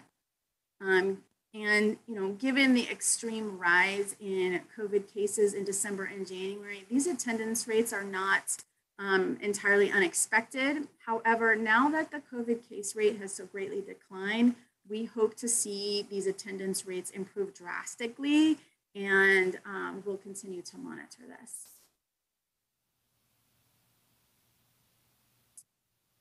Next slide. Here you see the percentage of newcomer students with marking period one grade uh, grades of B or higher. Um, I want to emphasize though that 80% of newcomers have um, an English language proficiency level of one and are in the beginning stages of learning English. And this is just one data point for understanding students' progress at their new schools in a new country. We are currently working on pulling data from various interventions so we can understand students' um, baselines and growth on other men uh, measures. We hope to present that in a future board meeting, I believe the one scheduled for end of March, um, where we will share um, what we are learning from those interventions. I am now going to turn it over to Tamara Hewlett to talk about um, elementary programming. Next slide. Oh, thank you. Uh, good morning and thank you for providing me with an opportunity to share a little about our elementary English language development program in service of our emergent multilingual learners. My name is Tamara Hewlett and I am the supervisor of the elementary uh, ELD program. I'm going to share a little about the program and about the different ways we are approaching mitigating learning loss for our youngest learners who are adding English to their linguistic repertoire. As Dr. Norton shared, we have the pleasure of working in service of over 18,700 students at the elementary level. Our English language proficiency levels indicate that about half of our students are at the proficiency levels of one and two, which are the beginning stages of their English language acquisition. And about 9,000 of our students are about at the levels of three and four uh, which that means they're on their way to meeting with proficiency in order to exit English language development services. Next slide, please. Over the past few years, our team has worked diligently to shift schools away from a program model of pulling students out of the classroom to receive language instruction that is not connected to the grade level standards and academic language demands to a plug-in co-teaching model. Research shows that when done correctly, co-teaching is a model that benefits all students from um, all students benefit from that model, including our emergent multilingual learners. As a result, this is the model that we recommend to schools. To support in this effort, we have provided professional learning around co-teaching to all of our first and second year cohort teachers and um, professional learning last summer around co-teaching, which included discussions and exp explorations about the barriers that prevent successful co-teaching. This training is available to all teachers in our professional learning library in our MyMCPS classroom. Co-teaching allows our emergent multilingual learners to stay in their classrooms with their peers who serve as language models. Depending on the model of co-teaching, students are working in small groups with either their teacher or their ELD teacher, learning the grade level academic language that supports their grade level content um, in a targeted manner. Both the ELD and the classroom teacher can also provide scaffolded instruction to match the language and academic needs of our EMLs, which is thoughtfully planned for. It's important to note that in 2017, our team started to work on shifting mindset and practices of our ELD teachers and schools in regards to language development. In the past, instruction focused on grammar instruction and survival English. And research has shown that focusing ELD instruction on grade level academic language with the appropriate supports results in successful language development of our students. From 2017 to 2020, the shifts in this approach took uh, our exit rates at the elementary level from an 11% exit rate, rate which was about 18,000, 1,800 students in one year, uh, K to five, to about 16.1% in 2020, which was about exiting 3,000 students in one year. Co-teaching as a model provides the opportunity to focus on the language development in a way that allows students to make meaning and have learning contextualized. Another aspect of our ELD program involves our two-way immersion schools. Currently, we have five two-way immersion schools where students are learning 50% of the day in English and 50% of the day in Spanish. Many of our students are either adding English or Spanish to their linguistic repertoire, thus meeting the program goal of bilingualism and biliteracy. For some students, they're adding a third or fourth language to their linguistic repertoire. Our TWI program have had to make adjustments over the past two years to support the ever-evolving environment, but they continue to hold true to the three pillars of dual language, which are bilingualism and biliteracy, high academic achievement, and sociocultural competence. The last aspect of our ELD program that we'd like to discuss are our students with limited or interrupted formal education, or SLIFE. Information on, SLIFE has been presented to the board before, but we just wanted to give you an update as to how many students we have formally identified and are supporting. There are currently 55 SLIFE at elementary level, at the elementary level across 31 schools.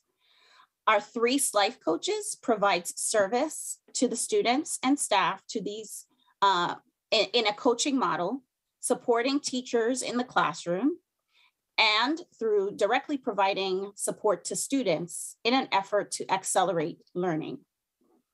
It is important to note that the 55 student count includes students who are new this year and some who were previously identified as SLIFE.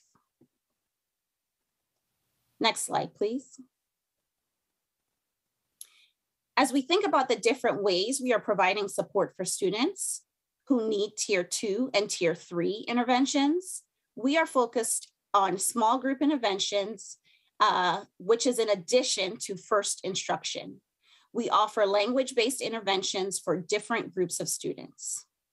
So as you can see on the chart, for SLIFE, we are offering Imagine, Imagine Language and Lit uh, the intervention. We currently have 34 SLIFE enrolled in this program. Imagine Learning is an adaptive, personalized learning pathway that accelerates the four domains of language proficiency and literacy for students in grades pre-K to six through the use of first language support and English phonemes. We also have the intervention ILIT ELL, which focuses on the literacy growth of students in grades four and five. This intervention is geared toward the students who have stagnated in their language development based on criteria, which has not, um, which also shows they, they are not meeting certain academic benchmarks. Uh, and this intervention provides a more focused language and literacy program. We currently have 58 students enrolled from eight of our schools in ILIT ELL. Lexia ELD is one of our newest interventions that we launched last school year. Lexia English Language Development is an adaptive blended learning program that supports students' English language development through academic conversations. The program integrates three key areas of speaking, listening, and grammar, promoting academic conversations in the subjects of math, science, social studies, and general knowledge, and biographies. Students receive instant feedback on their speaking through the speech recognition software from student-friendly, culturally responsive characters who guide them through their language development. We currently have 286 students at the beginning proficiency level enrolled in Lexia ELD. Students in 49 schools uh, access this program. Lastly, we have uh, three interventions uh, that we have at our two-way immersion schools. We have iStation, Soluciones, and Rigor. And it serves as a Spanish language development support for students who are not yet meeting with their Spanish proficiency. iStation offers both English and Spanish literacy supports, and Soluciones and Rigor provides primary and intermediate supports respectively. Next slide, please. Professional development is provided to teachers for all of the interventions discussed on the previous page. We also provide pro professional development in a cohort approach for our first and second year ELD teachers. It is very important that our teachers new to our program have the professional learning, which includes an understanding of the WIDA standards framework, providing appropriate scaffolds, co-teaching, and co-planning. We also provide professional learning for all of our ELD teachers three times a year. In these sessions, we provide the most up-to-date research and techniques on teaching the language of math, English language arts, science, and social studies. Our TWI schools also engage in professional learning, and this year we have a voluntary PLC that focuses on writing from a bilingual approach. In response to the ever-changing times, we also off offer office hours to our ELD teachers, and we share updates or recent information that they should know. These are some of the professional learning opportunities that we are engaged with, and we continue to partner with content areas in an effort to demonstrate how language and content work in tandem. Next slide, please. One example of this collaboration is a new series of professional learning we provide for our teachers and staff that supports SLIFE. This PLC started this year, and we have partnered with the ELA and math team to provide professional learning on how to bridge content gaps for SLIFE while providing access to grade level content. Members of the PLC spend half of the day learning how to best instruct the content areas of math and English language arts. And the afternoon session focuses on a partnership that we have with Apple and explores with teachers how to leverage the technology of an iPad to help further provide access and opportunities to our SLIFE students. Our first joint session with Apple is in two weeks, and we're so excited to get started on this innovative partnership. We continue to innovate with a partnership that our team started with Support Ed and Dr. Diane Staehr Fenner as we approach learning using a cluster model approach. In this partnership, our team, in collaboration with various school support and improvement teams, work with Support Ed to provide a cyclical learning experience that includes professional learning at the macro level and then school visits to see how schools put the learning into practice while offering some coaching and next steps. The cycle finishes with a reflective opportunity where all participants come together and share their work and ideas around continuous improvement for the benefit of the group. This school year, the Support Ed Partnership includes a feeder school cohort where an elementary school that feeds into a middle school work and learn together as a measure of consistent research-based approaches being implemented on behalf of our EMLs. Lastly, we continue to partner with English Learner Portal to offer learning not only for our ELD teachers, but also for content teachers and professional non-classroom based positions like media specialists, reading specialists, staff development teachers, etc. The learning is focused and targeted and also provides participants an opportunity to earn graduate credit for successful completion of the course. I will now pass the, this part of the presentation on to Sandra Blotner, the secondary ELD supervisor. Thank you for your time. Thank you so much, um, Ms. Hewlett, um, for just passing it on. Hi there, Dr. Docca, um, Ms. Smondrowski, and um, Ms. Silvestre. It's an absolute pleasure to share some updates with you about what's going on with our secondary ELD program.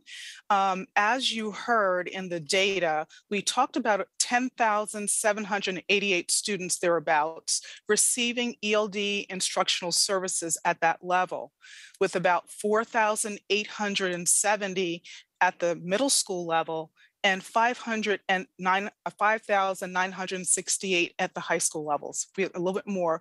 And you'll notice when you look at the data that was shared by Dr. Norton earlier, that we've had a huge influx of students specifically at ELP levels one and two. What we can tell you from looking at patterns and trends of our data over the past several years is that many of our students exit the ESOL program within two to three years.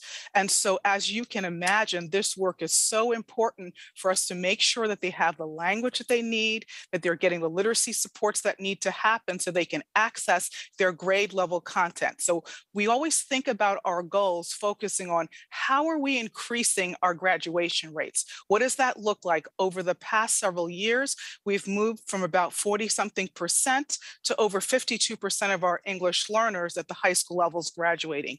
Now, that's not where we want it to be. We want it to grow even further than that, but we know how important it is to take those, those incremental growths as we partner together on this work with our schools. So I just wanted to highlight that for you. We also focus on our English learners accessing both their English language development instruction so they can develop the language they need to be successful, as well as their literacy instruction, as well as content learning. So all of these pieces come together to really make a difference for our English learners so they can be successful. And we also make sure that we focus on having high quality English language development services in place to support our students. This is collaborative work. This is difficult work, but we know and we believe that our English learners bring assets to the table.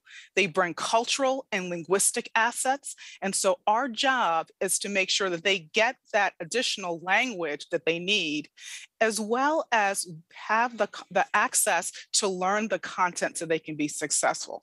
So I want to then highlight a couple things for you as we go through today, and I'll try to keep my comments as succinct as possible. So if we can go to the next slide, that would be great.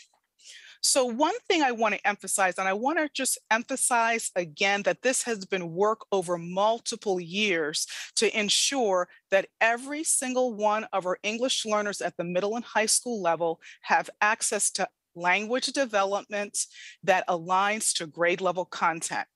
So it's been a journey. You know that we adopted the Study Sync curriculum resources and we worked with the vendor, we worked with our English language counterparts, as well as with our teachers to ensure that not only do our students have access to that curricula, but they also have teacher created resources that are differentiated to help support learning. So we know that many of our students, eh, again, program is a little different at the secondary level. We have courses. And so we're ensuring that in those ELD courses, our students have access to course the curriculum that they need. Um, we also ensure that all of our students at the highest proficiency level are in their grade level English classes.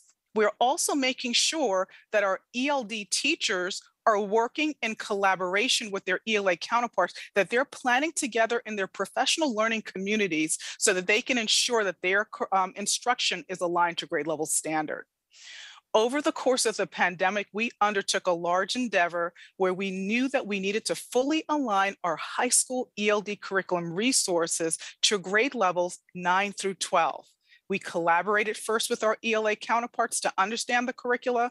We then analyzed it to see which one of our WIDA standards, those are the language development standards, aligned to our ELA standards so we could make sure that there was parity to ensure that our students had access to grade level novels. And we were very explicit in looking at how are we being culturally responsive. So we made sure that the novels that were selected, that the, both the authors and the protagonists reflected the faces of our English learners. So when you're reading um, Purple Hibiscus, for instance, do the students understand how the challenges that a student faces and what that might look like in their own lives and make those connections? So that was something that we did very deliberately. We also are ensuring that the assessments that are measuring language are aligned to grade level standard. So just wanted to again highlight and elevate for you that how important it is to ensure that our English language development instruction is aligned to grade level standard. We know that our students at the highest proficiency level at English language proficiency level four are in grade level classes.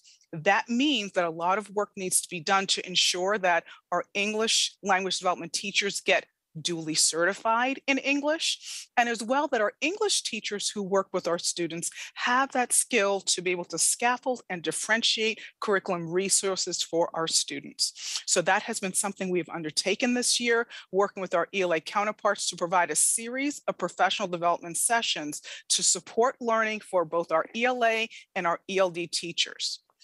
In addition to that, we also know that we have some students that come to us at the middle and high school level that have interrupted formal education. So that means that our work is that we've got to build the literacy skills for our students. How do we ensure that they're learning language, that they're developing the literacy skills that are needed? You heard our special education colleagues speak to that work a little earlier when they talked about what needs to happen. For our students that are in the literacy program, we know they need foundational skills. They need the phonics potentially. They need the phonemic awareness. They need vocabulary. Those skills are really important for the students so that they can develop and so we have adopted evidence-based curriculum resources to ensure that we're able to provide the uh, um, instruction that they need, the literacy instruction. And in addition to that, to ensure that we have data that is monitoring their progress along the way. To that end, we have 10 of our middle schools that have these programs. We have 12 of our high schools with these programs. Last year, we had about 400 students in the program. We've jumped to about over 600 students. So the program is growing. And so we're making sure that we work closely with our teachers, providing supports. In addition to that, providing the professional development and coaching needed to ensure that they have what they need to effectively meet the needs of students. Every year, we have progress monitoring sessions where we meet with school teams and we monitor student by student looking at progress in language, literacy, mathematics, and then we use that to inform what additional supports might be needed and what decisions need to be made. We also work closely with our parent outreach and our counseling team to make sure that they're part of those conversations so that if social emotional needs need to be addressed, they can help to support us in those efforts. If we can go to the next slide. Additionally, and you heard uh, Ms. Hewlett speak to how important this collaboration piece is one of the core tenets uh, that we need to focus on is collaboration. And to meet our goal of ensuring that all of our English learners have access to grade level content, we work closely with our content teams with math, science, social studies. This has been an ongoing effort for the past several years. This year, however, we're going and working closely on three specific courses.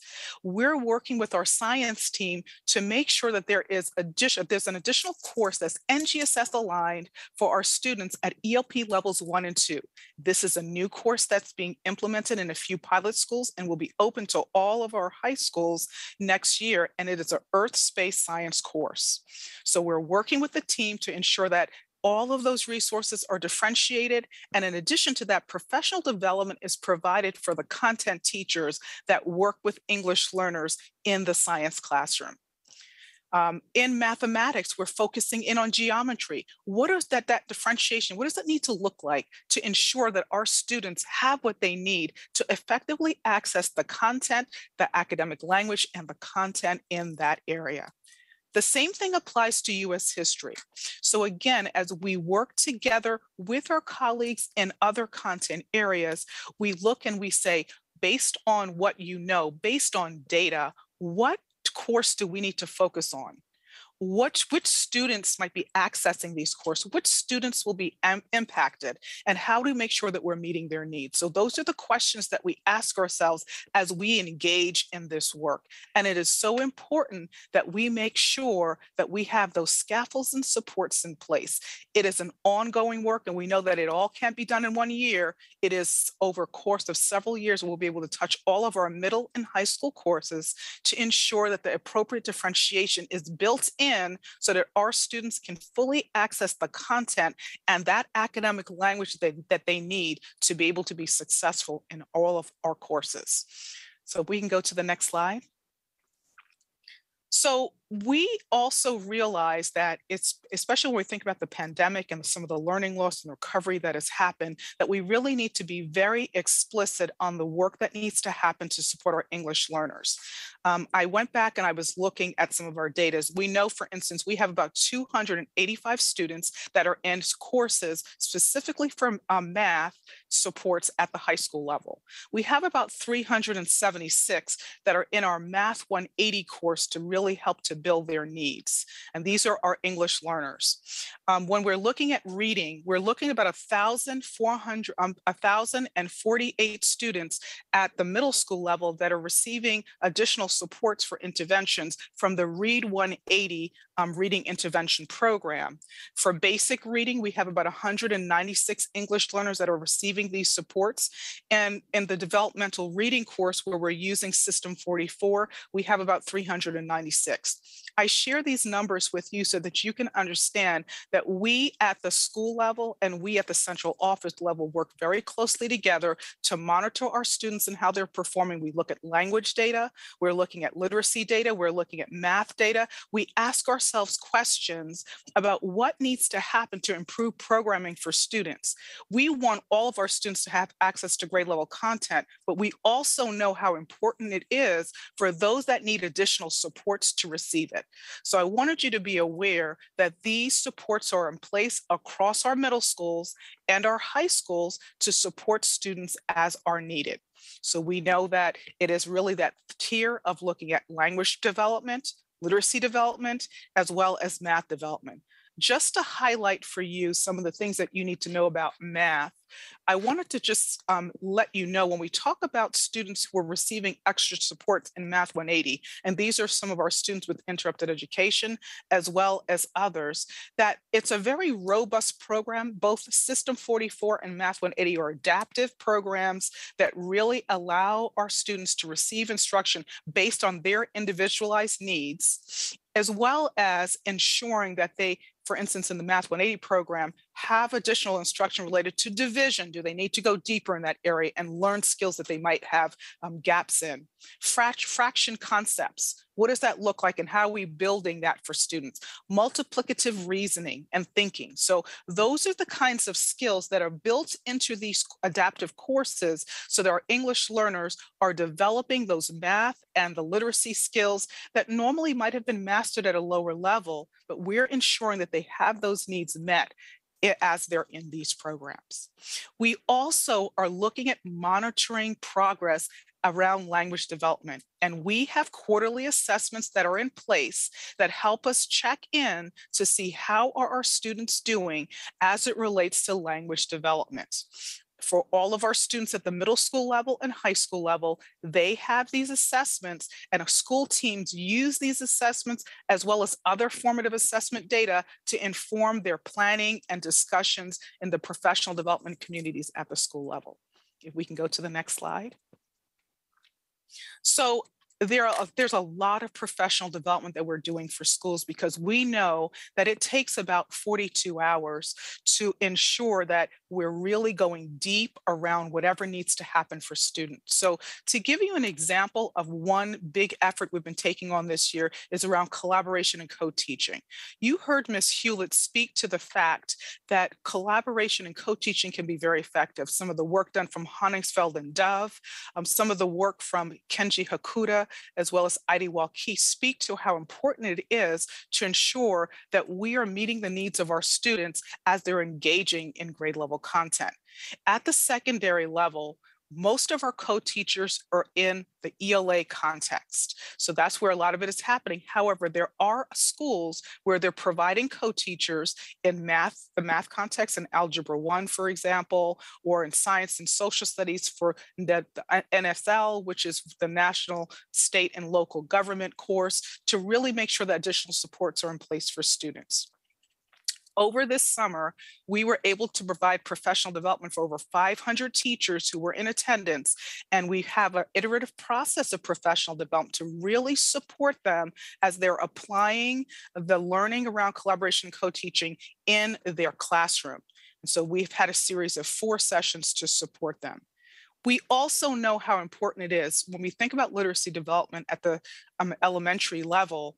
We know that that's part of the teacher's work. When we get to the secondary level, it gets a little more tricky for students and for teachers. So what we're going to be doing over the course of this spring and into next year is doing a lot more professional development work around literacy. What does it look like? How do we reinforce and how do we align to the science of reading? We heard us talk about structured reading and how important that is. And we know that for some of our older learners, they need those supports as well so that they can develop both the language and the literacy and can fully engage in their content classes and perform at high levels. So that's something that we're constantly working on. We have monthly content specialists and high school resource teacher meetings that take place where we focus around the leadership work that needs to happen, aligning to those big ideas, collaboration, equity. How are we integrating language and content? And what are those functional development needs around language that our students need? And how do our leaders support their teachers as they're working with them in the classroom? whether it's observation, coaching, in addition to monitoring that and analyzing that data to inform instruction. We also, over the course of the last several years, have provided ongoing professional development. During the pandemic, it was weekly professional development sessions.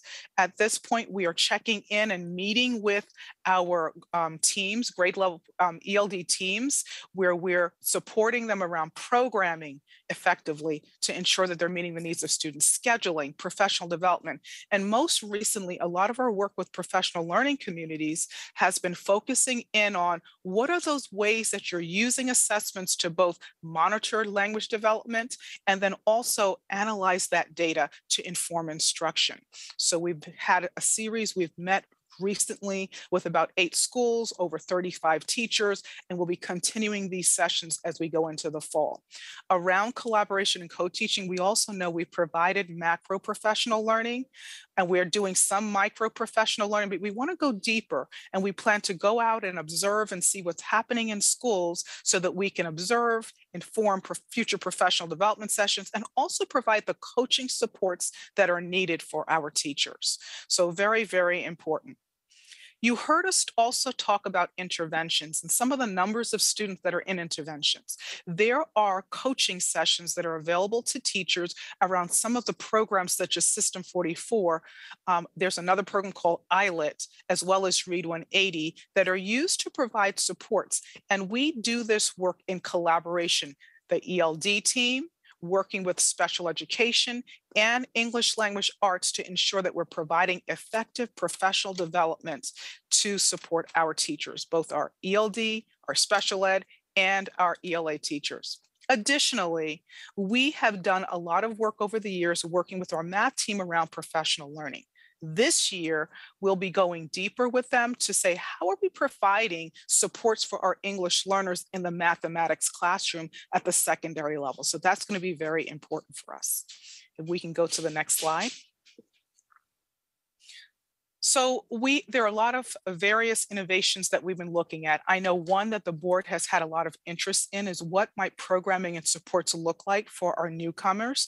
So we want you to know that we are going about the due diligence of studying, going and learning about what other newcomer programs are doing, as well as talking to local um, districts about some of the program that, that they're undertaking. And we're looking to do some work in the newcomer committee that's coming up and then come up with some recommendations. So that is ongoing work that will be happening and we should be kind of coming up with some decisions moving forward.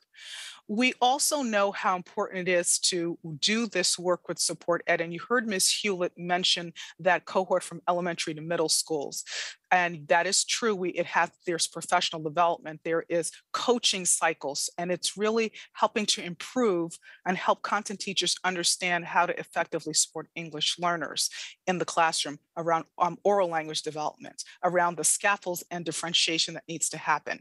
We're also working with gaithersburg high school they're the only high school that's currently in the cohort and really supporting them to look at what supports do our english learners need in their various content classrooms, as well as looking at some of the practices that can really make a difference for our English learners.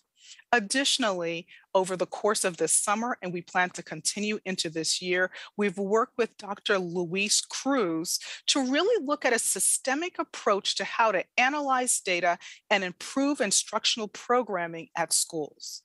So hopefully, as we've gone through this session today, you've got a, a, a smattering of understanding of what we're doing related to programming, what we're doing related to um, the interventions that are in place for students, what professional learning supports are in place, and the ways that we need to continue to do this collaboration work to improve teaching and learning for our um, multilingual students. Okay, so I believe I'm turning it back over to Dr. Norton, and I think we will have some time for discussions. Thank you, Sanja. Uh, let's turn to some next steps. If you can go to the next slide. Um, as I mentioned earlier in the presentation, we will examine students' progress on the interventions you've heard about today, and we um, plan to share data on that towards the end of March. Um, also in March, the secondary team will provide data meetings um, to METS teams um, to discuss students' progress and exits from METS courses. I also want to point out that access testing, which is the annual English language proficiency assessment that all English emergent multilingual learners must take um, annually, is currently underway and must be completed by March 4th. The results arrive at the end of the school year, and we are anticipating higher exit rates this year since COVID prevented most students from taking the test last year. Um, and a score of 4.5 or higher is required by MSDE in order to exit from English language development services. Next slide. For upcoming innovations, we are planning and proposing to provide summer learning to all elementary teachers on teaching language during content instruction. And as Sanja mentioned, we are working on proposal options for expanding supports to newcomers at secondary schools that offer METS courses. Um, and we know this is very need, uh, needed, and Sanja has been doing um, deep research into this the past few weeks um, with her team. Um, we know that there's interest in the idea of a single school where students who are newcomers would go. Um, we met with a local district regarding their international school, which in fact is not designed specifically for newcomers, but um, for English learners in general for all four years. Um, we learned that it's an application school and um, with a small overall school population, one challenge has been to set up a school that has the same level of courses, clubs, activities, and resources as larger already existing schools. And um, you know, the district wasn't able to offer outcome data comparing that international school to other schools in the district. But we are delving into the research and practices at other districts in, as well in order to develop proposal options. Um, one key features of all of the proposals is that they have a school leader, such as an assistant principal, who would be focused on leading the program for, um, for newcomers, as well as coaches or coordinators to make sure that um, students and service providers are in sync. We do have concerns about unnecessarily restricting students from peers, from language models, and from the general ed curriculum and ideally, we could expand supports at students' home schools or somehow find a way to avoid creating additional transportation hurdles for our students. So we're continuing to talk with neighboring districts and develop these options. And so we hope to have something to share soon. Um, and to close, I want, just want to thank Tamara, Sanja, and the whole team for their incredible work and commitment to students. And this concludes our presentation, and we look forward to questions and discussion. Thank you so much.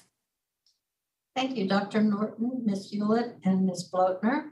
And uh, we'll open it up now to Ms. Silvestre. She has some questions. Uh, Dr. Docca, how much time do we have? That will help me decide how many questions to ask because I have a whole page. oh, full page. Oh my gosh. I think that we were supposed to go from 10 to 12. So we have gone seven minutes over already. Karla, you may have my time. I don't really have much. I, I know I have questions, but I'm sure that they're yours. So um, you Yeah, can take ahead. my time. Yeah. No, I, um, uh, thank you for the presentation. Um, I, I think I will schedule a follow-up. Uh, Dr. Norton and I haven't met face-to-face yet, so I think this will be an opportunity uh, to meet in person um, to address my many, many, many questions. But I guess just for um, today's discussion, um, you know, really, thank you for the work. Um, I've been on the board for three years. Um, and um, I'm seeing a lot of improvements to, to, to praise it in the positive. Um, and so um, thank you for um, thank you for your work, uh, Ms. Hewlett, Ms. Blotner, uh, Ms. Hazel, and thank you, uh, Dr. Norton, for uh, joining our team and, and helping us guide through uh, some much needed reforms. Um, I know that the changing of, of hearts and minds of our staff is was a tough and heavy lift, but was necessary. Um, and um, I guess just for today, uh, um, how could you help me understand the, the co-teaching? Because it, it sounds like that's a critical strategy uh, in all of this work, and, and particularly um, uh, co-teaching. I, I just I just don't know what it looks like in the classroom.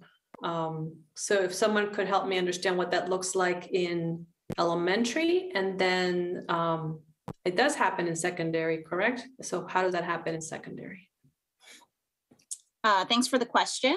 Uh, at the elementary level, co-teaching, you know, we like to say co-teaching and co-planning go hand in hand. So ideally, uh, co-teaching, uh, co-planning starts before co-teaching. So that means um, having schedule when teachers are are, are um, meeting together for their planning sessions. The ELD teacher is very much a part of those discussions, and um, every teacher in that space has a role. Uh, what we want everyone to realize is that they all own our EMLs. It's not just the ELD teacher is responsible for the language development of our EMLs. The classroom teacher also has to um, do this work because our students are spending more time in the classroom setting than with the ELD teacher. Um, so when we're talking about co-planning, we are we are talking about the content first. The standards drive all of, of the work. Um, and so, so once the conversation is around what the standards are for the week or two weeks, however the planning structure is, um, there's a series of, of questions and considerations that the ELD teacher and the classroom teacher work through together. You know, what's the the language um, that is very opaque uh, to our EMLs that to us, we, we, we English speakers take a lot of language for granted. Um, the ELD teacher has the expertise to say, you know, this academic language or this uh, potential text structure will prove some difficulty for our, um, our level one students. I think in this instance, we should parallel teach. So you take this group of students and I take that group of students. So decisions around models for co-teaching, decisions around scaffolds that are going to be used for our students in co-teaching. All of those are decided in the co-planning session. And then it's actualized when the teachers are teaching uh, in the same space.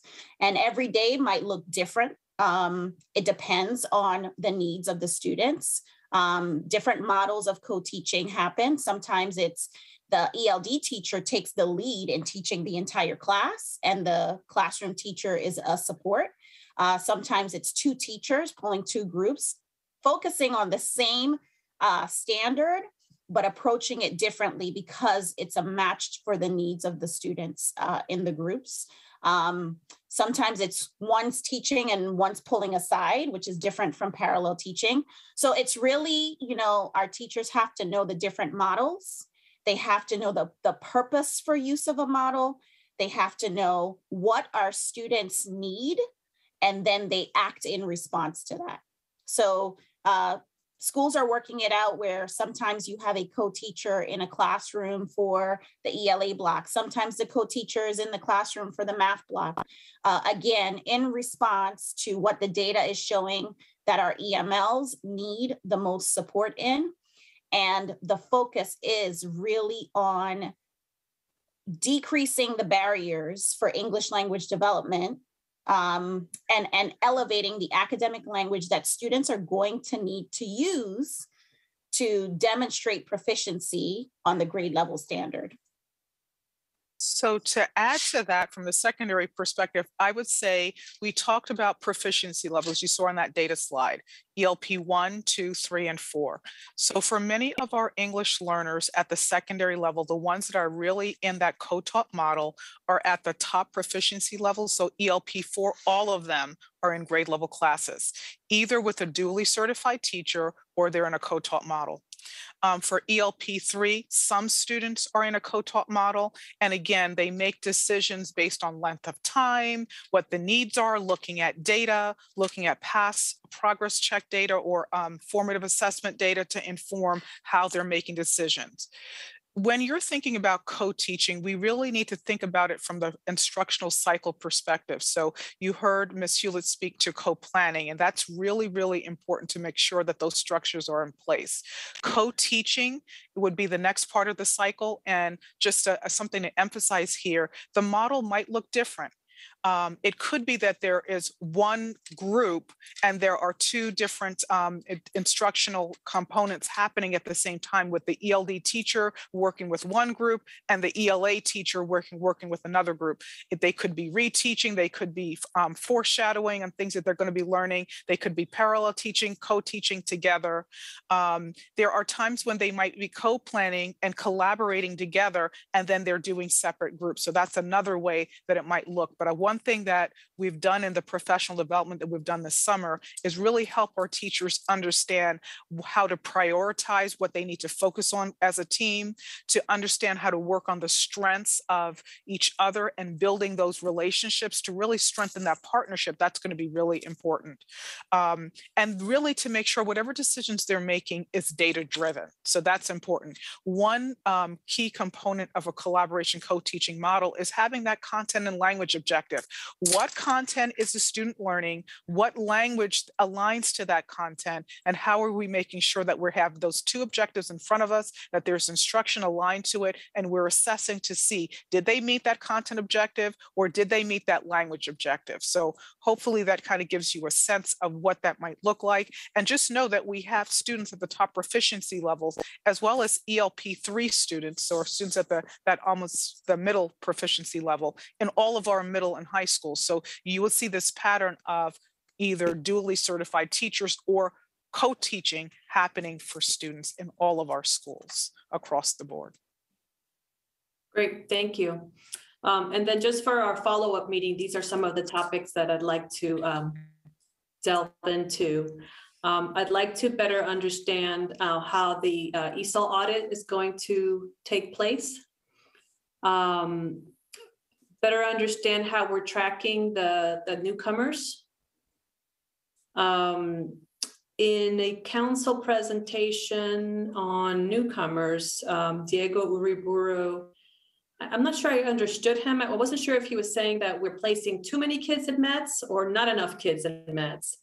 But uh, I just wanted to um, understand, better understand kind of our decision-making mm -hmm. process there because um, you know, some, uh, we just, we need to do a really careful job of our intake process to make sure that we're placing students where they're going to be successful and where, and where they really want to be.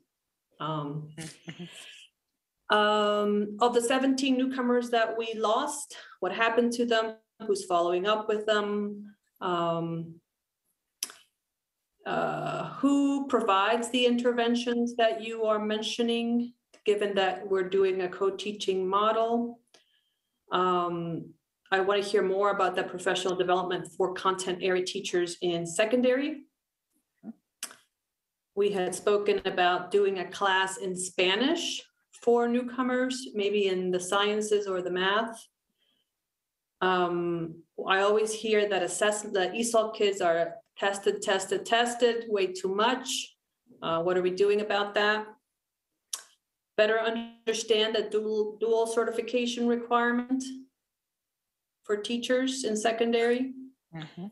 finally, um, how do you know the resources are being utilized by um, our educators in the classroom? What's your, what's your monitoring or quality assurance? So to be continued. Thank you. Thank you so much. All great questions. I look forward to talking about them with you. Oh, you. you're not, okay. That sounds like a whole meeting. I would- I would like to be included in that conversation as well. Good, good. It's for- it's I for- I realize that. But um, several years ago, maybe three years ago, we had some principals talk with us about the dual uh, or co-teaching. And I think the important thing about co-teaching is to remember that they're equal teachers, the, uh, the language teacher as well as the general teacher. And the same goes for special education because before they were not planning together. Um, the general education teacher was saying, well, you'll do this or you'll do that. It's really a combination of the skills of both parts. And I, I really um, think it's very important to have these supports because in the old days, we would have bridge programs, but they were not bridge programs when kids were at level four or level three or four, and we're going to go into regular classes, then they'd have a bridge program. But Mm. the issue is making sure they're uh, exposed to curriculum uh, all the way through and not separated out and then suddenly thrown in for curriculum. And uh, that has not been successful. But anyhow, thank you so much, Dr. Norton and Ms. Hewlett, and uh, also uh, Ms. Blotner. And I see that Ms. Hazel joined us for part of this, but thank you so much. It's a lot of information that you've given us, and, and I do look forward to having uh, some of Ms. Silvestre's questions explored. Thank you. I think we're finished.